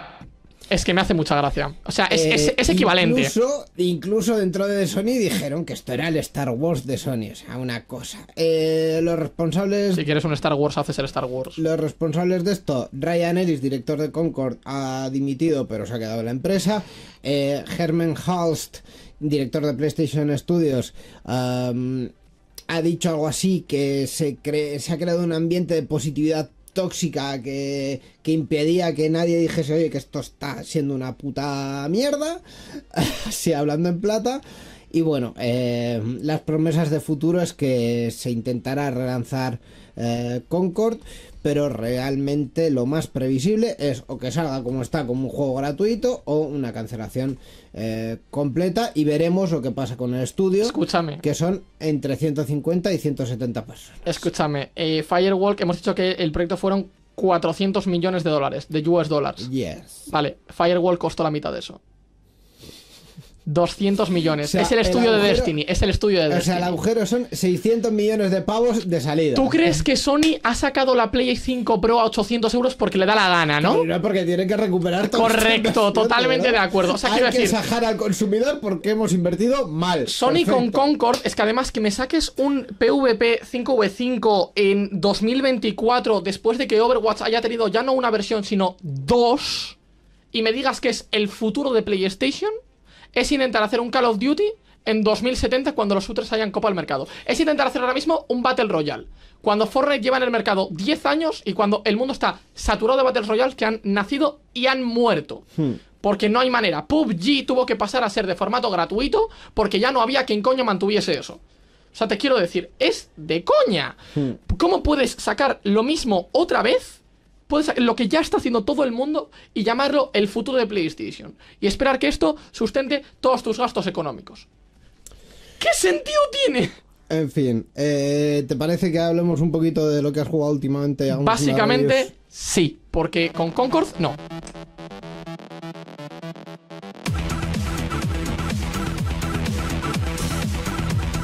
Te veo venir. Vas a dar la venir. turra durante un minuto y no te voy a dejar más de un minuto para. Mick and the Witches Mountain y luego hay otra cosita que has jugado. Totalmente. Mick and the Witches Mountain. Una joya maravilla. No os voy a dar mucha data porque realmente eh, va a venir Irina ahora, y después de Miguel, y nos va a contar todo sobre el juego. Tenéis mucho tiempo ahí para escuchar a Irina que nos cuente toda la movida. Entonces, sencillamente os voy a dar cuatro nociones por si queréis jugarlo o lo habéis jugado y estáis de acuerdo o no conmigo. Es un juego súper tranquilo, ya lo sabéis. Jueguitos de chivis, es lo que tienen, nos encanta. No es muy largo, así que os permite pasaros en una tarde, en un par de tardes, en tres tardes, pero viene más contenido, así que cuando venga más contenido tendréis también para seguir jugando. Es un juego muy rejugable realmente, muy integrado en el universo de Mara y, eso está muy guay porque para los que somos ya jugadores más antiguos de Chivig, eh, ves relaciones y vuelves a encontrarte con personajes que ya has visto en anteriores entregas. No es muy complicado también, así que no necesitáis tampoco ser Jesucristo con el mando de la Switch para poder hacer nada. Y aparte, eh, como, como tal, la música es muy calmada, pero está muy guay. Aunque también es cierto que sí que tengo una pequeña pega que supongo que irán solucionando de todas maneras, porque el juego, por mucho que no lo parezca, está en alfa. Eh, bueno, está en, lanzamiento, vaya. En Early Access, perdón, no en alfa, en Early Access. Em, la música eh, tiene unos cambios un poco bruscos, al igual que el escenario, sobre todo con la iluminación en ciertas zonas del, del juego, que puede que os choquen un poco, pero no es nada que impida jugarlo, o sea, está muy bien. Y a mí, a mí personalmente, porque me gusta mucho el juego, se me hace algo corto pero no tiene nada que ver. O sea, quiero decir, el juego es acorde además a su precio. Creo que ahora mismo lo tenéis por 15 o 20 pavos en la eShop y en Steam. Y ya vendrá más plataformas más adelante. Así que brutal. Y por otro lado, ya hemos hablado de Mika. Vamos a escuchar luego a Irina que nos cuente sobre Mika. Os vamos a hablar de Cash Cow, de Cash DX, Cash de, de dinero. Tengo una mosca. Cash Cow DX, que se lanzó en Steam el 16 de febrero de 2024 y que eh, se ha lanzado en la eShop, perdón, se ha lanzado, se lanzará en la eShop si estáis escuchando esto en directo o incluso en diferido en los primeros días de lanzamiento el 26 de septiembre. Todavía no ha salido, pero nosotros ya lo tenemos y ya lo hemos podido probar. Desarrollado por Pixel Games y editado por Flins Arcade, que son los que nos han facilitado la clave. Un agradecimiento muy grande desde el fondo de nuestro corazón desde aquí a ellos. Se trata de un juego de plataformas por salas, un poco con Mario Bros, de estética retro y que se jugaría en una arcade típica. De hecho, tiene estética retro. Encarnamos a una vaca que debe conseguir todas las monedas de la sala para pasar a la siguiente. Es muy gracioso el juego. Me encanta. No tenemos vídeo, Íñigo. No. No. Pues encarnamos, os lo dicto yo, encarnamos a una vaca que debe conseguir todas las monedas de la sala para poder pasar a la siguiente, pero que para ello tendrá que esquivar a los enemigos que la rodean, salvo que pueda terminar con ellos, o que tenga un pico o tal, como Pac-Man. Es un poco un Pac-Man, pero en lugar de eh, jugar desde una perspectiva cenital, creo que se llama, desde arriba, pues estamos jugando desde una perspectiva lateral, como, mm. como haríamos en un Mario Bros. El juego cuenta con opciones para que la estética sea aún más retro, como por ejemplo eliminar el escalado, es decir, que sea más pixelado, que no esté tan difuminadito, o emular el ojo de pez de las teles tubo. Me encantan los juegos que hacen esto, me encantan. Marea una barbaridad, pero me encantan. es la hostia. El juego además también cuenta con diferentes modos y con distintos niveles de dificultad. Incluso si los más bajos también suponen un reto. Entonces tampoco os pongáis como locos, o vamos a intentar pasarnos el más alto porque es jodido. Es bastante jodido. Hay bastantes enemigos y muchos de ellos van a por ti de manera directa tendremos que jugar en gran medida con las diferentes plataformas, ya que no es posible subir entre ellas. Os voy ir dando pistitas del juego. Ya que no es posible subir entre ellas, tan solo bajar. Y hay que usar ciertos tubos y caídas y tal que nos permiten acceder a las más altas. Entonces hay que ir jugando bastante con no primero voy consiguiendo de aquí, luego de allí, luego tal. Tenemos vidas también, eh, tres vidas y, se van regenerando y demás, como una arcade de toda la puta vida. Y lo cierto es que el juego está muy guapo. Así que un agradecimiento, por un lado, a Flins Arcade por, por darnos la clave para poder probarlo. Por otro lado, a Pixel Games por crear un jueguito tan cookie y que además a mí lo retro y lo que emula, digamos, a lo, a lo retro me gusta mucho. Y por otro lado, también, volviendo a lo de antes, a, a los chicos de Chivig por dejarnos el juego. Y dicho esto, ahora sí. Viene Miguel para hablarnos sobre las revistas Loop de Game Reactor, que va a ser la primera sección de la temporada. Ya tendremos luego a Sergio más adelante. Y luego viene también Irina de Chivis, como ya hemos dicho, la perra de Chivis, a hablarnos sobre Mika and the Witches Mountain. Así que todavía nos queda contenido.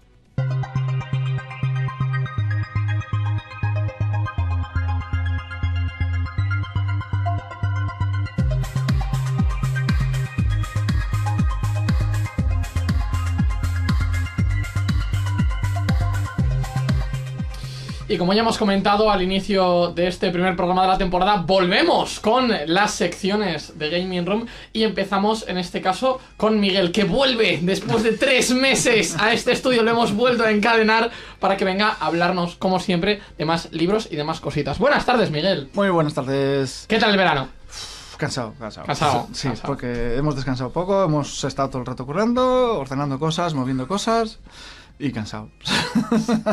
¿Habéis, habéis, os habéis mudado de tienda. Vamos a hacer el spam igualmente después, pero bueno, lo comentamos ahora. Os habéis mudado de tienda, pueden ir a veros. Tienda, pueden ir a visitarnos. Estamos en el Cano 5, en Baracaldo, frente del teatro. Está casi al lado donde estábamos antes. Están a dos minutos del metro. A dos minutos Es más grande para que podamos poner más cosas y, y que la gente se pierda y esas cosas dando vueltas. Y ahora hay hueco para hacer un programa de Gaming Room allí. Yo no digo nada. Yo no digo nada. No digas nada, que para eso hay que mover muchas cosas. Yo no, bueno, no tantas, Íñigo, ya lo hemos hecho en muchas ocasiones. Íñigo ya, ya está suspirando, cómo no, qué raro. Sí. Y acabamos de iniciar la temporada y ya se está quejando. En fin, no puede ser. Él la descansó poco también, se le ve. Es, Se es lo ve. que tiene. No como todos, ser, como no todos. Miguel, ¿qué nos has traído hoy? Vale, pues como estamos quemados, estamos cansados, eso de un libraco gordo, no, traemos revistitas, ¿vale? Tampoco son pequeñas, pero bueno, es más fácil manejar una revista que igual un, un tochal es enorme con ilustraciones y tal. Y he escogido la revista Loop, ¿vale? Principalmente se distribuye a, a través de Confundings, pero bueno, también lo podéis encontrar en nuestra tienda y en alguna más, o comprárselo a ellos directamente. Entonces, es un proyecto independiente, ya lleva unos cuantos añitos, eh, lleva seis números, sacan dos al año, y empezaron en relación con, con la editorial Game Report. Ahora ya son más independientes y así. Y bueno, mm, la principal característica de, de esta revista es que está formada por un montón de gente. No vamos a decir a nadie porque siempre te olvidas y quedas súper mal. Ya, esto pasa no, no, mucho. no. Es que te metes en la, en la página web y ves el cuadro de, de autores y entre ilustradores y, y redactores es un montonazo. Ya. Y a nada que andes metido en este mundillo vas a ir reconociendo los iconitos de cada uno que usan redes y cositas así. Entonces, bueno, ¿qué es lo principal de esta revista? Toda esta gente eh, lo que ha pensado es que muchos de sus trabajos, si se quedan en internet, se van a perder, nadie los va a ver. Y han decidido, decidido sacarlo en esto, en, en formato papel. Tenemos un par de ellas así, abiertas. Y es muy chulo. Tanto el trabajo de, de ilustradores como de, de los autores. Entonces, bueno, mm, sin más, ahora que estás medio muerto, te coges, te lees un par de articulillos.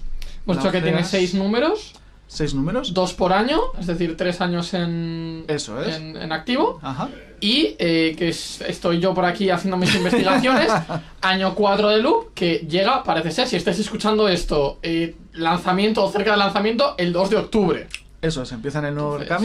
Siempre tienen cositas especiales en, en los Berkamis, de que no, Ujú. no os lo perdáis, apuntároslos. Y además es la mejor forma de, Sí, de de apoyar. ayudarles. O sea, porque también otra de las características que buscaron es pagar precios justos, tanto a, a ilustradores como a los, a los escritores, ¿vale? Y lo, lo Algo que en la su- industria no es nada habitual. No, para nada. De hecho, lo normal es que te digan, oye, me haces un artículo y te lo pago con, con exposición. Sí. A, a céntimo el párrafo, sí, ¿sabes? sí, O, o ni eso. No, es que vas a salir en un medio con no sé cuántos... Sí, un clásico. de, Tengo números, Sí. tu nombre aparece aquí. Ya, Eso es. sí. Vas a ser popular. Tu nombre Sí. va a salir en la portada. Sí.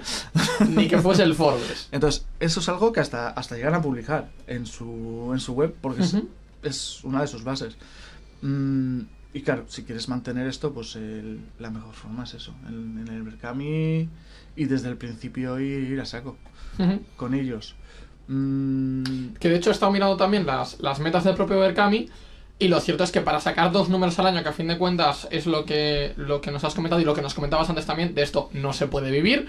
Porque ya el simple hecho de mirar cuánta gente trabaja en esto, mirando una revista cualquiera, eh, la gente que ha escrito los artículos, ilustradores y demás, la lista, como tú bien has dicho, es muy muy larga.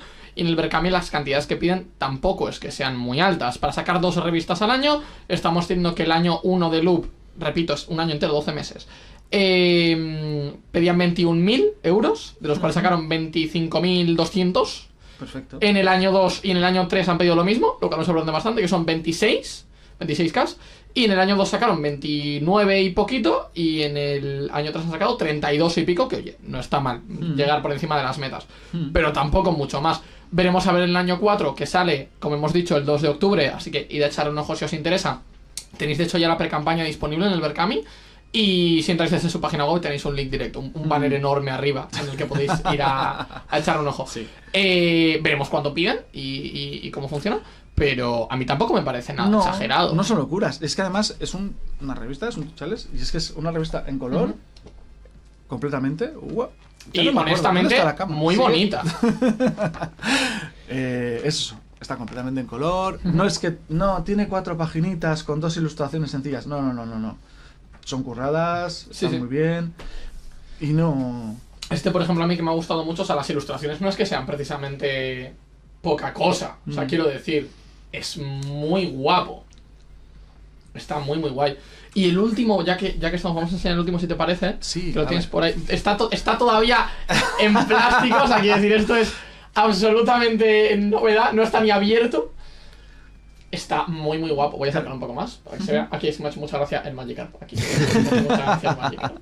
Está, está brutal. A mí también lo que me hace mucha gracia es, claro, eh, al principio, pues empezaron con. Como darle, dándoles una temática, ¿vale? Eh, lo ponen aquí arriba, en forma de hashtag, pues este es amor y dinero, ya no veo, y humor, ¿vale? Entonces, claro, te apuntas al Berkami y de qué van a ser los, de, los del año que viene, qué temáticas van a buscar, de qué van a hablar. En el otro lado. Aquí. Es que, Estoy intentando enseñarlo. es que Sí. es- El no, tampoco no se ve una mierda, o sea que. A ver. A ver, ahí. Ahí se ve algo más. Sí, animales. Aparece en animales, pero animales. 04, Eso es. efectivamente. Ahí está. Entonces, no sé, por ejemplo, pues este es lo que decía, este es de humor, en plan así. El último, ¿el último cuál era? Ah, El animales. Ah, vale, vale, vale. Animales. Eso es. Que de hecho es que aparece en su web precisamente por, No sé. por, por- por eso. Pues Que es el. Eh... Bueno, el, anima- el animales esto. no puede ser el último, si es el 04, ¿no? No, es que los dos primeros no los numeraron. Sí, a mí me pasó lo mismo. Cuando los estuve metiendo en Ajá. la página web me quedé, uy, me descuadran. El primer año no los numeraron y luego ya los han ido numerando todos. Mm. Entonces los dos primeros no tienen número. Entonces, claro, si llevan 6, son 2 sin número más 4. Eso es, los dos primeros era este, Correcto. el de amor y sexo. ¡Uy, qué lío! A ver, hay- tenemos Y 6 tal. revistas encima de la mesa, es complicado. Eso es. Estamos torpes, acabamos de ver el Bueno, verano. bueno, hay que, hay que darle margen, hay que darle margen. Y, y nada, eso, eso está muy guay. A mí me, me da mucha curiosidad de a ver por dónde, por dónde tiran, qué temáticas sacan. Ujú. Coméntanos, si no, si te parece, respecto, a lo mejor las metas las miro yo ahora de Berkami, pero por comprobar precios y demás de, de la revista para que la gente también se haga la Ah. idea. Pues a ver, ¿entiendes esto? 21.95, además han venido de, de la baldita. Ujú. 24.95 uno de los últimos. El último es que me llegó hace tres días, me lo mandaron hace tres días. En plena mudanza, lo apoyé en la balda y dije, bueno, al que se lo lleve se lo regalo porque no tiene precio. Ya saben, vaya Navarro de Friki, hay productos gratis. Ay, pero- no, porque todavía estaban en la tienda vieja. O sea, me va a matar, me va a matar el, el, mm, coleguilla, el editor, cuando vea que, que no lo llevo a la tienda nueva. Dios mío. Eh, Ay. no, los llevaremos y, y los pondré en la web y todo. Pero no nos ha dado la vida. Esta semana y la anterior ha sido de locura, de pedirles favores a amigos y, y de ir por la calle paseando con cristales en el brazo, como en, los, en las pelis de humor, y esperando que un ciclista pase por el medio y se lo lleve. A ver, lo cierto es que eh, en el Berkami las, las recompensas, que estoy- así como hay otras campañas que hacen early birds y estas cosas de que te sale más barato que el lanzamiento, eh, en el Berkami son más caras, pero también traen más cosas. O sea, quiero decir, creo que la edición por defecto aquí, en lugar de, pues es básicamente el doble, son 47 pavos. Pero eh, viene con eh, libro específico en físico adicional al libro que ya te viene, a la revista Vaya que ya te viene. Eh, viene con ediciones. Esto me ha hecho mucha gracia. Bueno, me ha hecho al revés, mucha ilusión, perdón. Ediciones digitales en PDF sin DRM. Que eso está muy bien también, para que puedas enseñar y movidas. Yo me acuerdo, Este por ejemplo, en el Berkamin, esta, la de dinero, hice una portada súper chula, dorada, con relieve. Estaba súper bonita. Pero eso, Eso solo en el Berkami. Claro, es. sí, sí, sí. No, está, está muy guapo. Y luego el simple hecho de, como bien comentamos en su momento, el, el poder colaborar en este tipo de proyectos, que está aquí atrás, de hecho, listado de mecenas. Aquí en, dos. Aquí. Está aquí listado de mecenas entero. Madre de Dios. No, es enorme. Y tiene aquí otro, otro par de columnas. O sea, te quiero decir, en la siguiente hoja tiene, ahí, tiene otro par de columnas. O sea, te quiero decir. Y no hay mucha gente que apoya esto, así que, coño. Ya el simple hecho de apoyar y encima te está dando más cosas y cosas exclusivas Mm. de la propia campaña. Pues está muy bien, honestamente. Sí, sí, sí. Así que O sea, nos. Es su filosofía. O sea, vamos a hacer algo muy chulo, eh, lo vamos a sacar en papel porque es un formato que perdura en el tiempo, Totalmente. ¿vale? Y vamos a tratar bien a la gente que lo hace. Así que la mejor. Nuevo descubrimiento, me lo apunto porque me ha gustado, ¿eh? Me ha Sí. gustado mucho. Qué guay. nos lo apuntamos. Vamos a recordarle a nuestros oyentes, Revista Loop, que, eh, o sea, yo no sé si ya se han desvinculado de Game Reactor, o siguen o no, o qué. Eh, no, estoy no estoy seguro. O sea, sé que empezaron unidos, ahora sí, cada uno. Pero al final, mm, yo creo que dentro de este mundillo conserva las amistades. Sí, no, eso totalmente. sencillo. Yo te digo porque los Berkamis los, los hacen de la mano de Game Reactor. Entonces no sé si el de esta, el de este año, que sale el 2 de octubre, o depende de cuando estéis escuchando esto, habrá salido el 2 de octubre, lo harán también de la mano de Game Reactor. No, quiero Sí. pensar que sí. Sí, sí. Sí. Está, lo está No, puesto en el Está puesto ya, efectivamente. Vale, Sí. pues. Ah, estoy seguro que me lo, me lo contó, pero soy un pez y ya no me Bueno, pues de la mano de Game Reactor, en el Berkami del Game Reactor, eh, Game Reactor, perdón, podéis echar un ojo a, a la revista Loop, podéis, creo que pre-reservarla ya, de hecho, y, y echarle un ojo y también una manita a esta gente que, que hace cosas guapas y chulas y que paga como se tiene que pagar. Gracias, que la- no hay de esto en la industria. Así que nos quedamos con eso. Revista Loop. eh, de Game Reactor y de la compañía independiente, que eso es lo que no sé si hemos comentado. O sea, No, es Revista ¿tiene- Loop, ¿Tiene nombre aparte? No, No, no, Sencillamente Revista son- Loop como son concepto. Loop, Pues Revista es. Loop, con Game Reactor, claro que sí. Y que podéis encontrar todos los números que han salido hasta la fecha y los que saldrán, como no, en mano del friki. Miguel. Eso es. En Baracaldo, en el campo Cuando, 5. cuando busque la baldita para ellos. para Ah, que chulo. ¿lo vas a poner uno solo? Claro. Hombre. No, no, no. A ver, antes estaba todos, los libros de videojuegos estaban más, un poquito más esquinados, ¿vale? Eh, pero ahora vamos a buscar una balda más chula, más... No me tengo que agachar para verlo. Está bien, que quede, Sí. que quede a, la altura de vista. Marketing, todo marketing. quedan, quedan paredes libres para poner baldas. Si alguien quiere montar baldas, de Ikea, que venga. Pues nos quedamos con eso, con Revista Loop, que saca dentro de poquito el número 7. Muchas gracias, Miguel, por traernos Nada. la recomendación. Gracias a vosotros. Hasta la próxima. Nos vemos.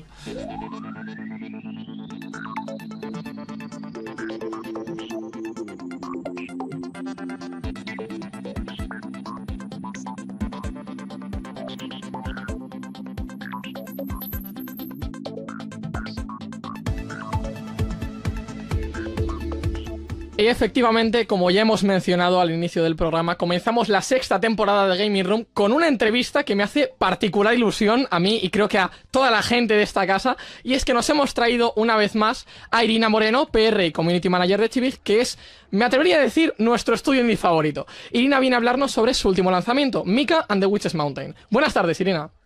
Muy buenas tardes, muchas gracias por invitarme de nuevo. Qué ilusión tenerte aquí de nuevo. Después de Coa, volvemos, pues, cosa de un añito y algo más tarde, creo. Algo, Sí, algo sí, así. sí. Y en semanas, este caso, semanas. ahí está. Y en este caso, eh, para hablarnos de, de, de Mika, que lanzasteis el pasado 21 de agosto. Sí, sí, sí, sí. Lo pudimos probar eh, y, básicamente cuando se anunció, me acuerdo en el Chivix Presents, de eso hablaremos luego, pero cuando se anunció en el Chivix Presents me acuerdo que pudimos probarlo poco después en, en la Steam Next Fest, en las posteriores Steam Next Fest que hubo, y nos quedamos con muchas ganas de tenerlo, de tenerlo completo, de poder probarlo eh, pues entero, básicamente. Tras haber podido probarlo ya así, después de salir, de decir que el juego no decepciona las cosas como son y da jugarlo. Mika es un juego de aventura muy cozy y en, en mi opinión personalmente también de plataformas. Descríbenos tú un poco el género. A ver, verdaderamente, por meterlo en un género, porque podríamos definirlo, pues eso, tiene toques de uno, tiene toques de otros, pero sí, básicamente es una aventura eh, con una buena carga narrativa, con toques de plataformeo, también tienes exploración y demás. Eh, sí que es verdad que hemos quitado, bueno, hemos quitado, hemos prescindido del aspecto farming que caracteriza sobre todo a los primeros juegos de, de Chibi y que alguna gente nos ha pedido, lamentablemente, el farming aquí no pega, tiene que ser un juego de llevar paquetillos. Pero, pero bueno, en términos generales es, es una aventura, una aventura de, de repartir paquetes. El término de farming a lo mejor podría entrar intentando, no sé, plantar paquetes que luego puedas llevar a otro lugar. No estaría mal. Yo os doy ideas para DLCs, yo no digo nada. Me gusta, me gusta. ¿Qué historia se cuenta en el juego? Sabemos que somos Mika, pero ¿qué más? Bueno, pues a ver, eres un aprendiz de bruja que llega a una isla pues para completar tus estudios y convertirte en una bruja poderosísima y muy de renombre y demás.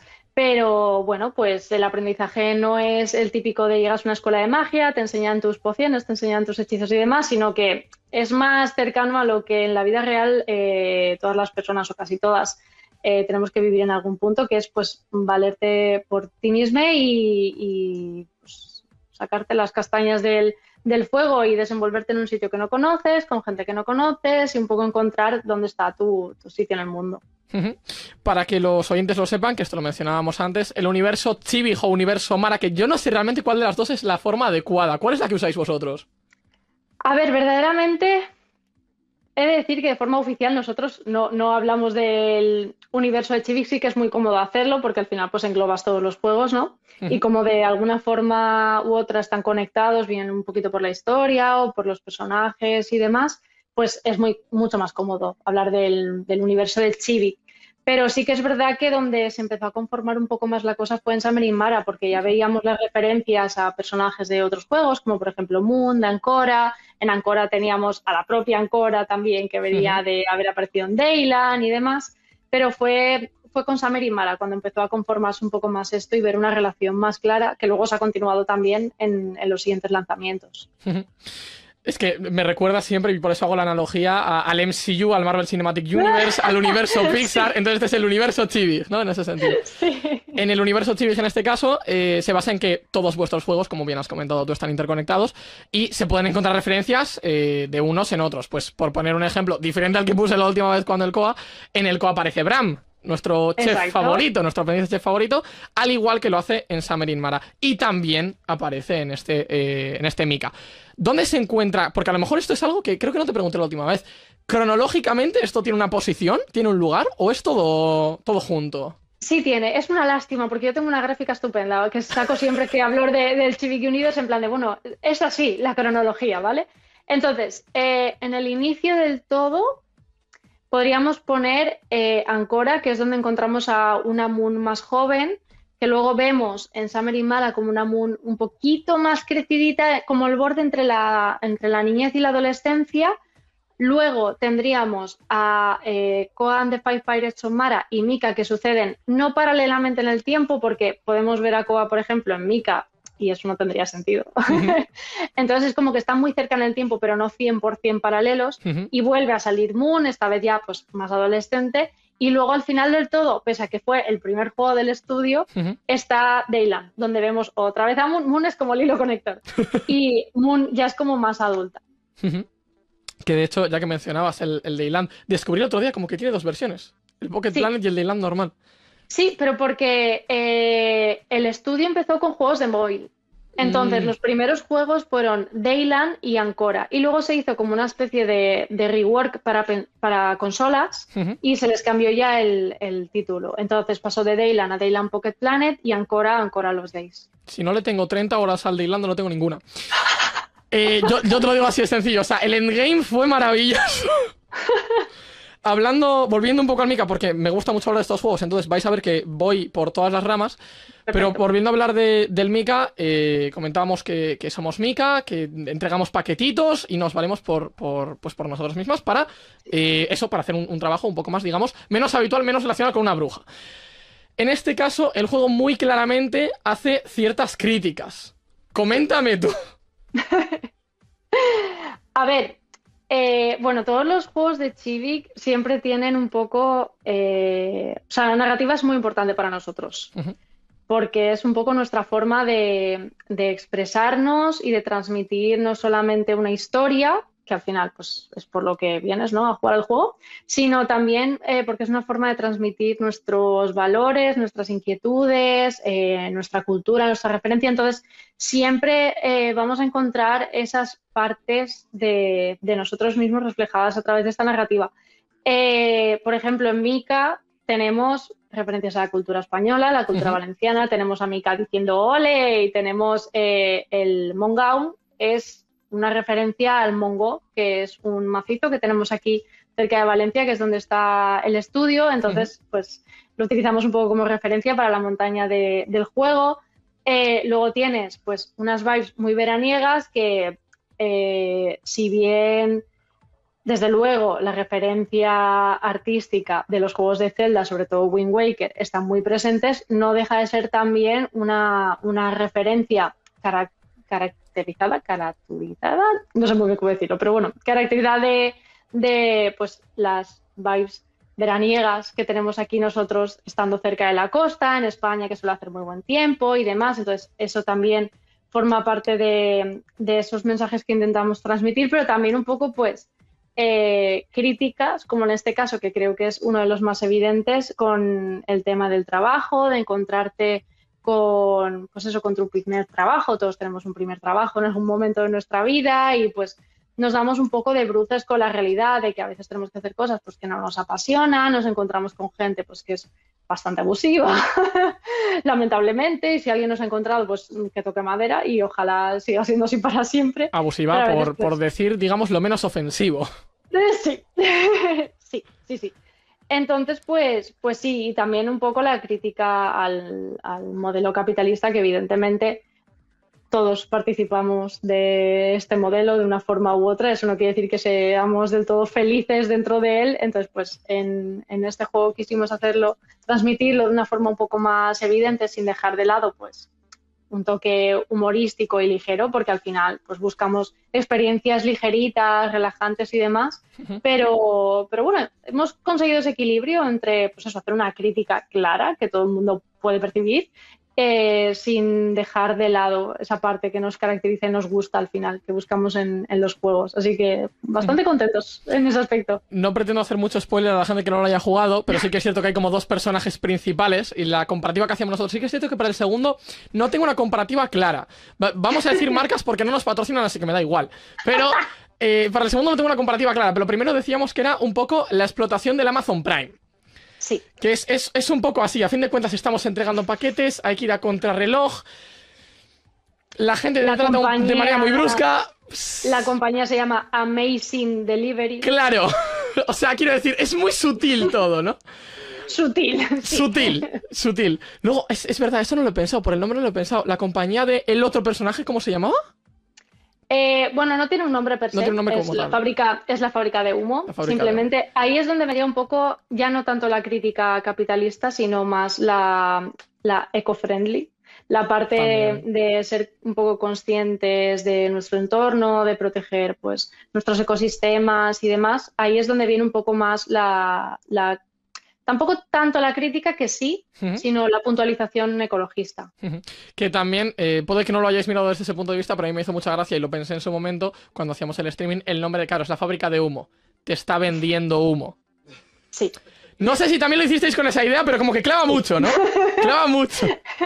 sí. Tiene mucho sentido. Cambiando un poco de, tema, eh, háblanos sobre el estilo artístico. Sabemos que mmm, Chibi se inspira principalmente en Estudio Ghibli, en cosas muy cookies, cozy. Es que cozy es un poco el, término genérico para, para, para, definir vuestros juegos. Háblanos sobre el estilo, eh, sobre el estilo artístico. Pues, a ver, la referencia a Ghibli, igual que la de Zelda Wind Waker, es más que obvia, no nos escondemos, de hecho la hemos utilizado como bandera, por así decirlo, eh, desde prácticamente que se anunció el juego.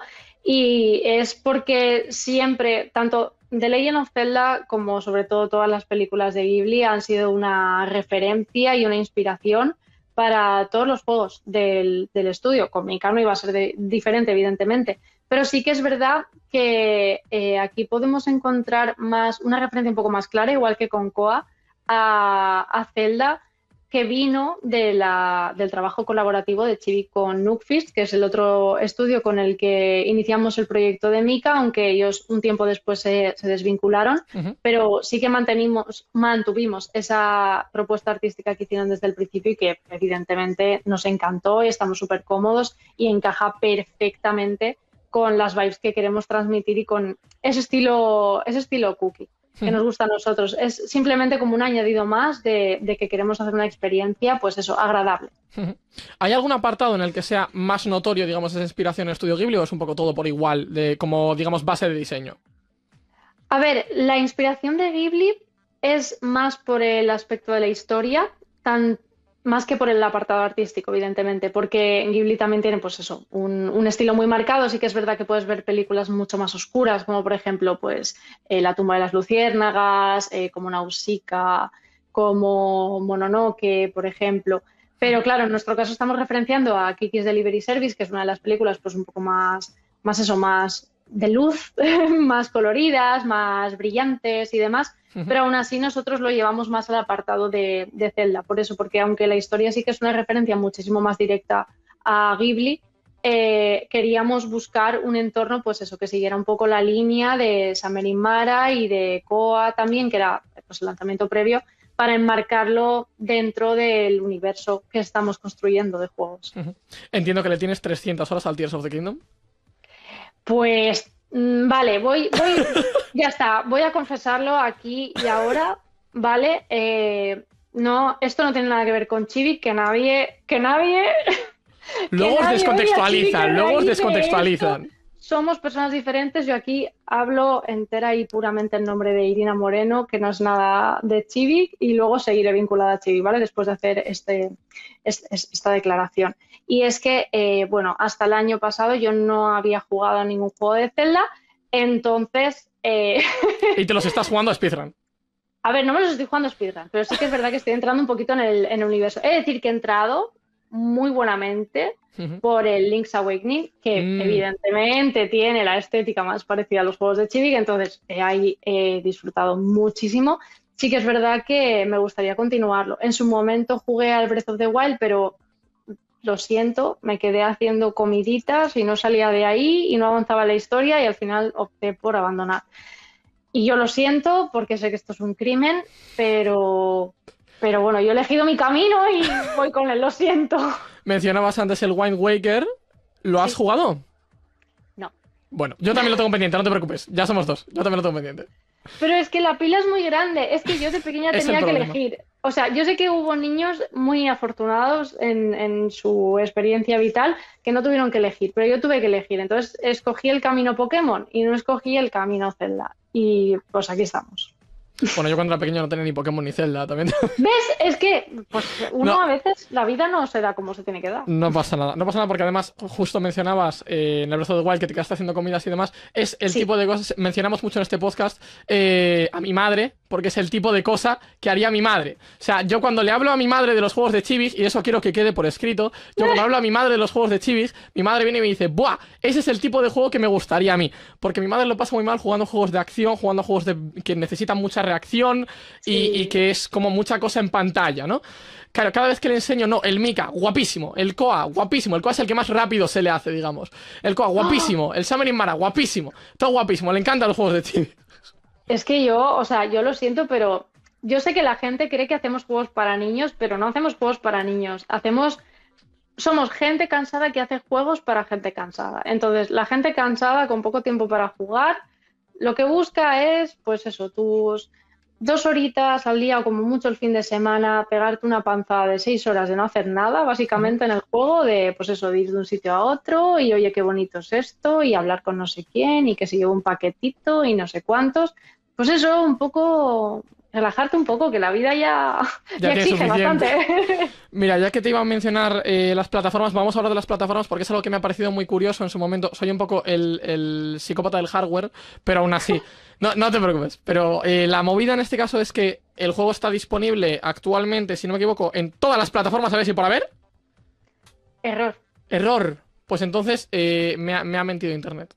Vilmente. Lo, lo entiendo. lo Steam entiendo, y Internet. Switch, entonces. Internet es así. Efectivamente, a ver, el juego sí que va a estar en todas las plataformas, pero ahora mismo eh, que hemos lanzado en Early Access, Sí. no es lanzamiento completo, eh, hemos salido en Steam y en Nintendo Switch, En efectivamente. Steam y en Switch. Yo siempre digo que los juegos de Chibi son juegos de Switch.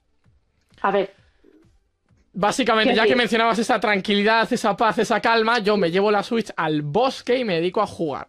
O sea, fácil. efectivamente. Y aparte, Sí. No requiere de conexión a internet, que hay muchos No, juegos hoy en día no, que no, sin necesitarla te la exigen. Porque sí. Son juegos para jugar contigo mismo y ya está. Lo que sí que me ha parecido curioso es que yo estoy muy acostumbrado a ver en la página vuestra de Steam, en la de vuestros juegos, los mismos requisitos todo el rato. Todos vuestros juegos exigen lo mismo. Y este exige muy por encima. Pero es muy curioso porque los requisitos mínimos de Steam son superiores a los de Switch. A lo que te da la Switch, pero la Switch lo corre estupendamente. Eso me lo tienes A que ver. explicar. Sí, te lo debo explicar definitivamente. A ver, siempre ponemos las mismas especificaciones porque siempre intentamos asegurarnos de que los juegos corren en eso como mínimo.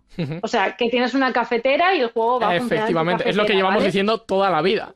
Exacto. Entonces, no lo ponemos como recomendación, lo ponemos como, mira, si tienes como mínimo esto, el juego va a funcionar, ¿vale?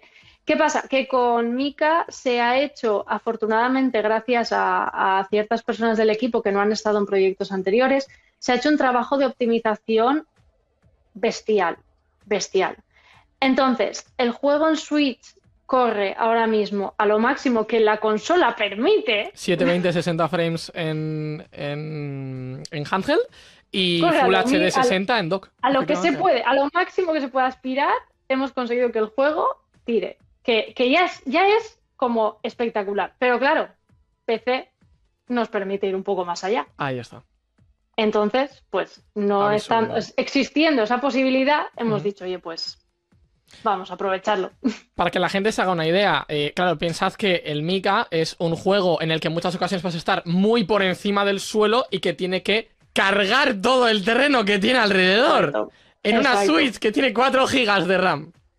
Sí, que comparte y no con la gráfica. que, claro, esto hay que tener en consideración. Mika es eh, nuestro primer juego mundo abierto, que es un mundo abierto muy pequeñito, sí, pero no deja de ser un mundo abierto. Y como tú mencionas, pues eso son un montón de cosas en pantalla. Ahí está, y que tiene que cargar y que se tiene que ver y que hay que hacer, ya no solo porque los cargue, sino porque incluso si no los carga, tienes que hacer esos detallitos ligeros para que no se note que no los estás Eh, cargando. exactamente. Rollo niebla a la distancia, etc. Y esos son truquitos. Sí, Esos son truquitos. sí, sí, sí, sí. Y aún con el juego eh, lanzado, como vamos a seguir añadiendo parches. Acabo de ver hoy que habéis aumentado rendimiento, o sea, literalmente, de coña. Digo, lo acabo de ver justo ahora, antes de, antes de empezar. Digo yo, toma ya, ya está, más cosas. Sí, es que, bueno, hemos lanzado en Early Access precisamente por eso. O sea, es también la primera vez del estudio que lanzamos un Early. Eh, primero, porque vamos a añadir parches de contenido del juego nuevo que no están ahora mismo en los próximos meses, que es la primera vez que, que lo hacemos. Y la verdad es que tenemos muchas ganas porque, jolines, a ver, sí que es verdad que son cosas que prometimos en, en Kickstarter, pero es que también hemos visto ahí una oportunidad muy buena, siendo la comunidad de Chibi una parte fundamental del estudio, tener ahí pues un tiempo, unos meses de poder seguir dándole cariño al juego y puliendo eh, los bugs, optimizando el rendimiento y demás, y también añadiendo pues algunas sugerencias, siempre y cuando nos lo podamos permitir, de- del feedback que nos dé la comunidad.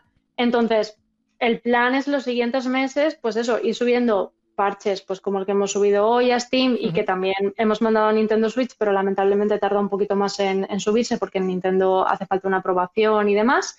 Eh, pero luego también pues los parches de contenido. Entonces la idea es eso, conseguir un juego de un nivel que hasta la fecha en el estudio no se había conseguido.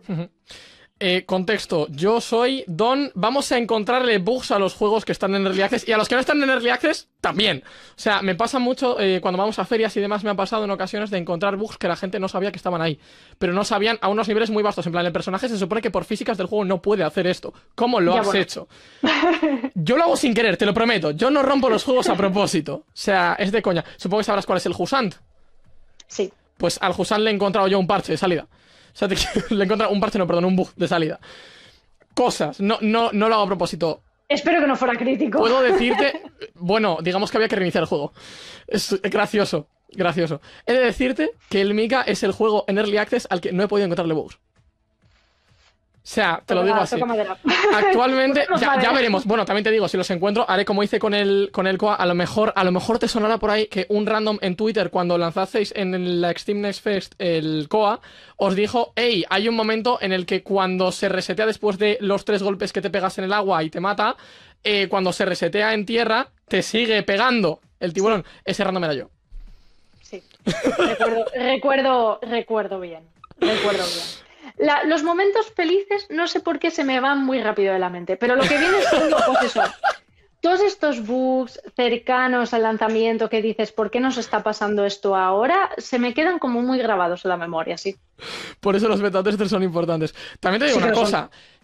Mm, Chibig, estudio indie, indie, poca gente, poco presupuesto. De presupuesto no sé cómo andáis, porque en el Mika sacasteis bastante pasta en Kickstarter, eso lo mencionaste en la charla de la Big, pero sí que es cierto Sí. que también dijiste que mucha parte se va. Entonces, claro, vamos a decir, estudio indie, poco presupuesto. Y saben lo que significa optimización. Bethesda, aplícatelo. O sea, quiero decir, ya vale, ya vale. Dejad de decirme que me compre una 4090 para jugar un juego. Ya vale. A lo que voy. Eh, podéis correr el juego sin problema, exige más que los, que los juegos anteriores de Chips, pero sí que es cierto que en ordenador se corre sin problema y si no, lo jugáis en Switch, que se ve de la hostia, o sea, te quiero decir. Respecto a duración del juego, me has dicho que queríais aumentar contenido, porque actualmente en cosa de eh, 3-4 horitas se puede pasar sin problema, en una tarde te lo pasas, que es lo que tardé yo básicamente, y tampoco es especialmente complicado. Entonces, No. tiene bastante accesibilidad en ese sentido. Sí, sí, sí, totalmente. De hecho, es que, eh, bueno, es gracioso porque hay como un cierto debate desde que lanzamos el juego con el tema de la duración. Eh, he de decir que nosotros, desde que planteamos el proyecto, apuntábamos a un juego de 3-4 horas. Ya está. Eh, porque al final es un juego que va de repartir paquetes, entonces tienes que ir de punto A a punto B. Y sí que es verdad que hay más cosas que puedes hacer. Puedes explorar la isla, puedes coger los coleccionables. Luego, con el contenido adicional, pues otras cosas que puedes hacer más allá de repartir paquetes, pero no deja de ser un juego de, ju- de- de repartir paquetes. Entonces, no puedes alargar eso excesivamente Claro. sin que resulte aburrido. Porque al final, y hay gente que dice, es que es un juego tipo Fetch Quest, y es como, pero es que es un juego de repartir paquetes. O sea, quiero decir, no sé cómo crees que será divertido el día a día de un repartidor de Amazon, pero Va básicamente. repartir paquetes. Es que va Básicamente. repartir paquetes. Entonces, quiero decir, hemos cogido esa mecánica, la hemos intentado hacer lo más divertida posible, evidentemente, porque tiene pues cosas pues como que vas repartiendo en una bola, en una bola, en una escoba voladora, que es bastante divertido per se. Eh, pero no deja de ser eso. Entonces nosotros apuntábamos a un juego pues cortito, que se centrara en hacer pues tus repartos, conocer a tus vecinos, que es donde está un poco la gracia, explorar la isla, que es donde está la otra gracia, y pues tener una experiencia agradable, tranquila y demás. ¿Qué pasa? Que con el Kickstarter, como se prometieron eh, otro, otra serie de contenidos con los, con los stretch goals, se ha ampliado un poquito esa experiencia y con los parches de contenido que vendrán se, se ampliará un poquito más. Entonces nos ha hecho un poco de gracia porque han surgido como dos frentes. Está la gente que dice, ay, es que el juego es muy corto, no merece la pena, no sé qué, y es como, nunca dijimos que fuéramos a hacer un juego largo, empezando por ahí, pero luego siguiendo con, vale, imagínate un juego de 30 horas repartiendo paquetes. Correcto. Te quejarías porque entonces sería un juego de 30 horas repartiendo paquetes y te resultaría aburrido y repetitivo, ¿no? Entonces es como... Pero luego está la gente que, como nosotros, piensa que un juego corto es eh, algo bueno, porque lo es, porque cuando eres un adulto... No necesitamos tantos juegos de responsabilidades y 60 demás, horas. Hay muchos juegos de 60 horas. No necesitamos tantos juegos de 60 horas. No hay tiempo para jugar juegos de 60 horas. Eso es. Entonces hay gente pues que lo ve precisamente como, como algo bueno, es en plan de perfecto porque es un juego que me siento una tarde, me lo paso del Claro. tirón, lo he disfrutado y a otra cosa mariposa, efectivamente. Pues ahí es donde vamos. A mí sí que es cierto que tengo, estoy un poco en el medio de ambas. O sea, quiero decir, está guay porque es cortito y, Sí. coño, a veces se agradece lo que tú dices, el, el tener juegos cortos, que tampoco, porque tener juegos más largos implica que tengo que estar volviendo al juego, tal, tal, tal, y, y haciendo cosas. Y depende del tipo de historia que sea, puede que sea algo que me interese desde un principio, pero que no me enganche Mm. suficiente como para estar jugando una semana, dos semanas, tres semanas. Claro. Depende del tiempo que tenga. Entonces, un juego cortito. Y aparte, mi, mi, mi, no merece la pena. 17 pavos en Switch. ¿Qué más quieres?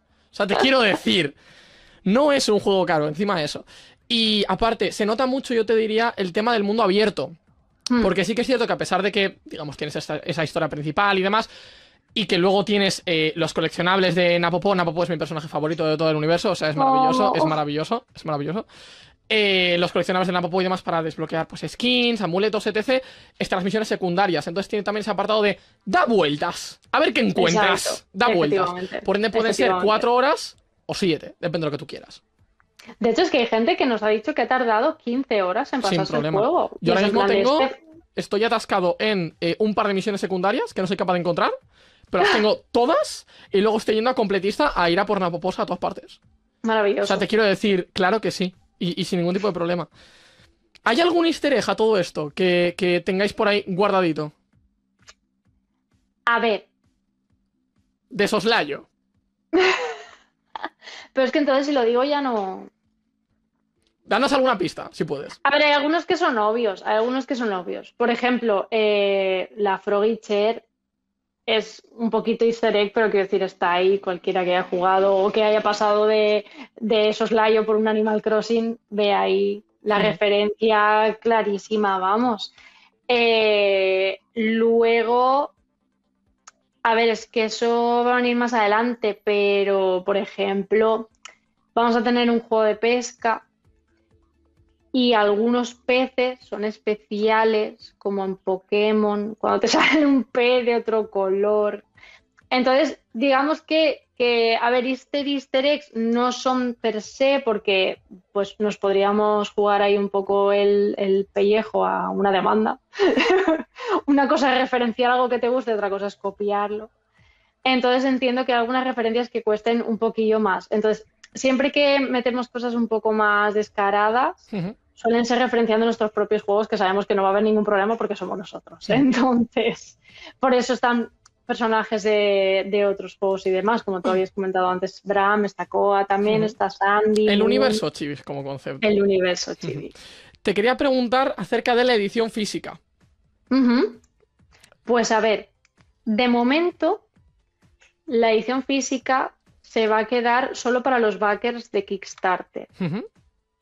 Porque no hemos cerrado ningún acuerdo con ningún publisher de juegos físicos por el momento. También es verdad que eh, estamos esperando a dos cosas, a que el juego pues, salga de Early Access, es decir, que esté todo el contenido ya eh, incorporado y el juego esté, pues en cuanto a rendimiento, bugs y demás, pues un mínimo, un mínimo. Evidentemente, si buscas, siempre vas a encontrar algo. Entonces tenemos que ponernos como un suelo, un, vale, esto es lo mínimo de lo mínimo.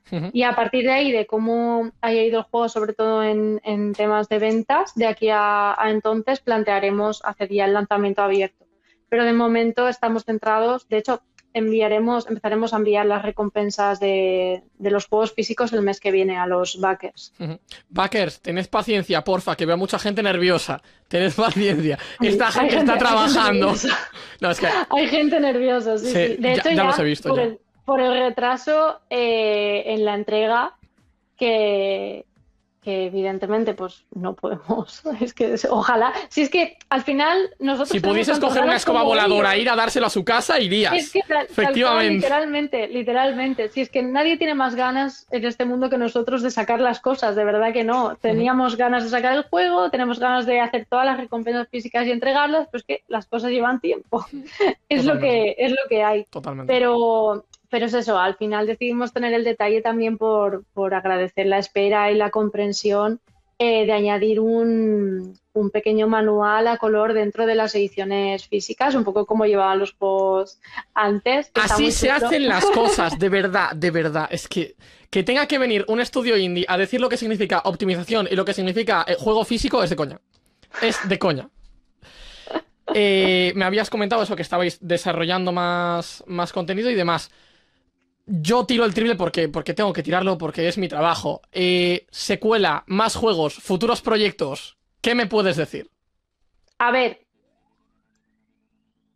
¿hay otro proyecto en desarrollo? Sí. Bien. No, no, acabamos de quitar la música. Te escuchamos todos atentamente. ¿Puedo decir algo más? No. Pero Vale. Tenemos titular. Hay otro juego en desarrollo.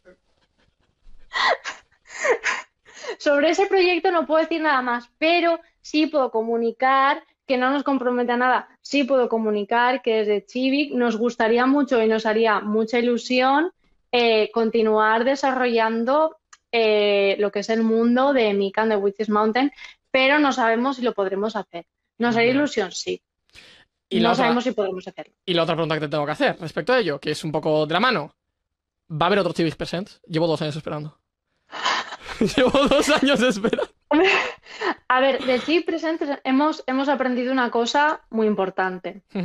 Y es que en su momento hubo muy buenas intenciones y muchas ilusiones, pero sobre todo, como tú comentas todo el rato, y es una verdad muy grande, somos un estudio Y indie. se nota. Entonces, en el Chibi Presents anunciamos tres nuevos proyectos después de Samir y Mara. Ujú. Eh, luego, uno interno en desarrollo y una adaptación más otro juego, bueno, eh, Creatures of Ava, que también salió este año, Ava. también salió en agosto. Fue un juego que nosotros empezamos a desarrollar con Inverge Studios y con Eleven Bit. Luego Chivik eh, hace casi dos, un año y medio, pongamos, eh, se desvinculó. Porque ya terminamos de hacer la parte que nos correspondía en ese proyecto, pero claro, no perdamos de vista un estudio, pues eso, de 10, 15 personas en su momento más, más álgido, estaba con tres proyectos, más uno interno, más Es ABA. mucho curro.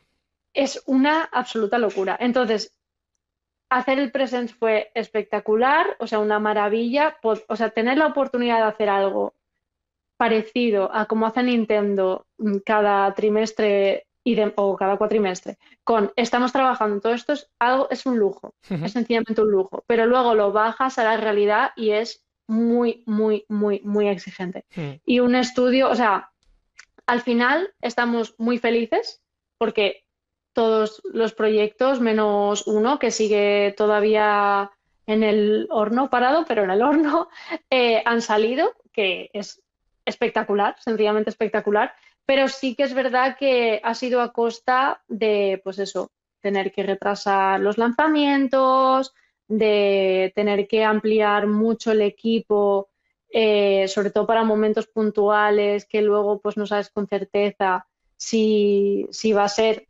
viable para el futuro del estudio y demás. Entonces, sí es como demasiado, Apuntar demasiado alto para, para un estudio indie. Entonces sí que es verdad que por el momento nos gustaría, pues ahora que ya ha terminado eh, nuestro compromiso por esa parte con respecto al Chibi Presents, de lanzar todas las cosas que se anunciaron, sí que ahora nos gustaría ir un poco con más calma y con más sosiego, un poco predicar con lo que pretendemos hacer con nuestros juegos, ¿no? En plan, pues desarrollar juegos de cariño, una amor forma un y poco sacarlo, más efectivamente. Efectivamente, más, más calmada. Primero el. 1 y, y luego el 2, porque al final eso también es un poco más, más razonable y sobre todo más sostenible. Pues estaremos pendientes y traeremos básicamente las novedades de Chibi, de Mika y de todo lo que tenéis, básicamente. Siempre. Eh, te voy a dar, Irina, ahora sí, para terminar. Hace mucho tiempo que no digo esto, me hace mucha ilusión. Te voy a dar tu minuto de oro para que vendas tu juego al público. Todo tuyo. Dios mío. Dios mío. Eh, vale, esto no estaba preparado, así que es verdad, es verdad, no estaba preparado. Así que, bueno, si estáis buscando una experiencia tranquila, relajante, con críticas al capitalismo, pero que no deja de ser eh, una experiencia tranquila y relajante, con de verdad muchísimo corazón y muy buenas intenciones y muy buena fe por parte de, del estudio Chibi. Y, y que probablemente eh, se haga un huequito en vuestros corazones, jugad a Mikan de Witches Mountain. Y si no queréis o no podéis permitiros comprar el juego, no pasa absolutamente nada porque hay muchas formas de apoyar a Civic y a cualquier otro estudio al que admiréis o por el que sintáis algún tipo de simpatía, que es pues interactuando con ellos en redes sociales, compartiendo su contenido y, y, pues mandándoles mensajes de, de apoyo. Así que apoyad a la escena indie. Pues para que ellos sí que optimizan sus juegos. Pues para terminar, les recordamos a los oyentes, Mick and the Witches Mountain, disponible en Early Access desde el pasado 21 de agosto para eh, PC mediante Steam y Switch y en el futuro en todas las plataformas. Finales de año. Finales de año. Entonces, pues, lo traeremos esa noticia. El titular. Mika ya lo podéis jugar donde queráis. En un futuro en, en todas las plataformas. Muchísimas gracias, como siempre, Irina, por estar hoy con nosotros. Esperamos tenerte de vuelta muy pronto con los futuros proyectos que desarrolléis. Pues sí, ya sabes que siempre que nos invitéis estaremos súper agradecidos de, de venir, o sea que muchas gracias de verdad, como siempre. A vosotros. Hasta la próxima. Chao.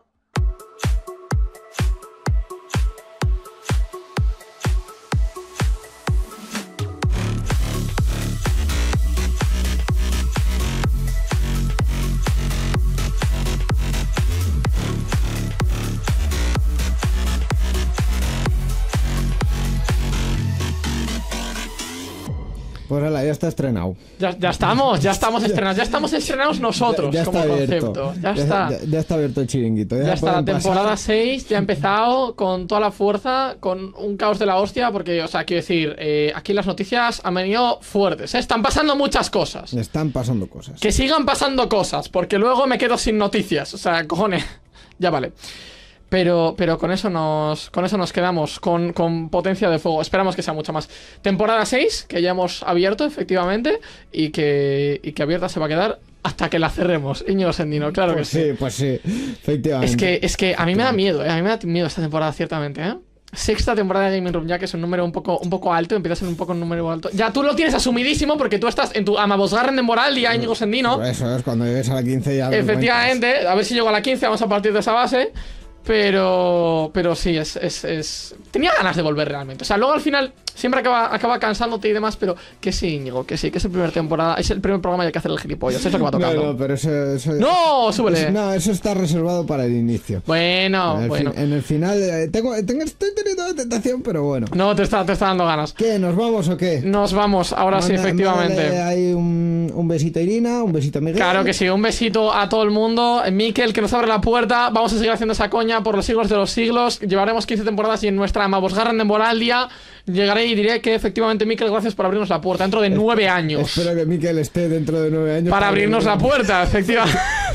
Que no diga, "Ay, dejadme en paz, os vais a tomar por Miquel dentro de nueve ya". años tiene muchos años ya, ¿eh? Ya, bueno, yo también Y tú también. Dentro de nueve... Íñigo, tú dentro de nueve años estás casi cerca de los- estás en los es que 40 ya, Yo ¿eh? dentro de nueve años estoy dándole largo de Buah, los 40. o sea, los cosa 40 son los nuevos 30, increíble. Íñigo, los 40 son los nuevos 30. Sí, son los nuevos 15, no te jodes. Bueno.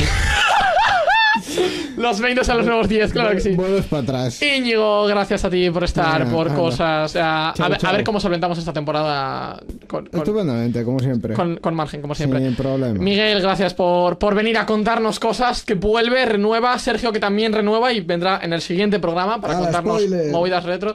Bueno, spoiler, ya ves tú, lo dijimos antes de terminar. O sea, no, no tiene tanta diferencia. Y Irina, también muchísimas gracias pues por, por toda la info que nos da siempre, por ser un amor de persona y por traernos cositas guays. Y por último, como no, a vosotros por querer estar con nosotros una temporada más, una más. Sé que es complicado, sé, sé- lo sé, soy consciente, soy consciente. Así que os agradezco de corazón que estéis aquí una temporada más para escucharnos, para estar con nosotros, para acompañarnos, para informaros también y para informarnos a nosotros, que lo hacéis mucho también y que me hace mucha ilusión. Y con esto cerramos como siempre, así que lo vamos a dejar en que más noticias, porque por algo esto es un noticiario, eventos dentro de muy poquito, curiosidades como siempre y entrevistas que espero que esta temporada haya más dentro de muy poco. Me lo estáis aguantando, me lo estoy intentando hacer guardar, así que nos vamos a despedir como siempre, como hacemos con encima. el clásico que es nos vemos, os queremos un puto huevo. Un saludo.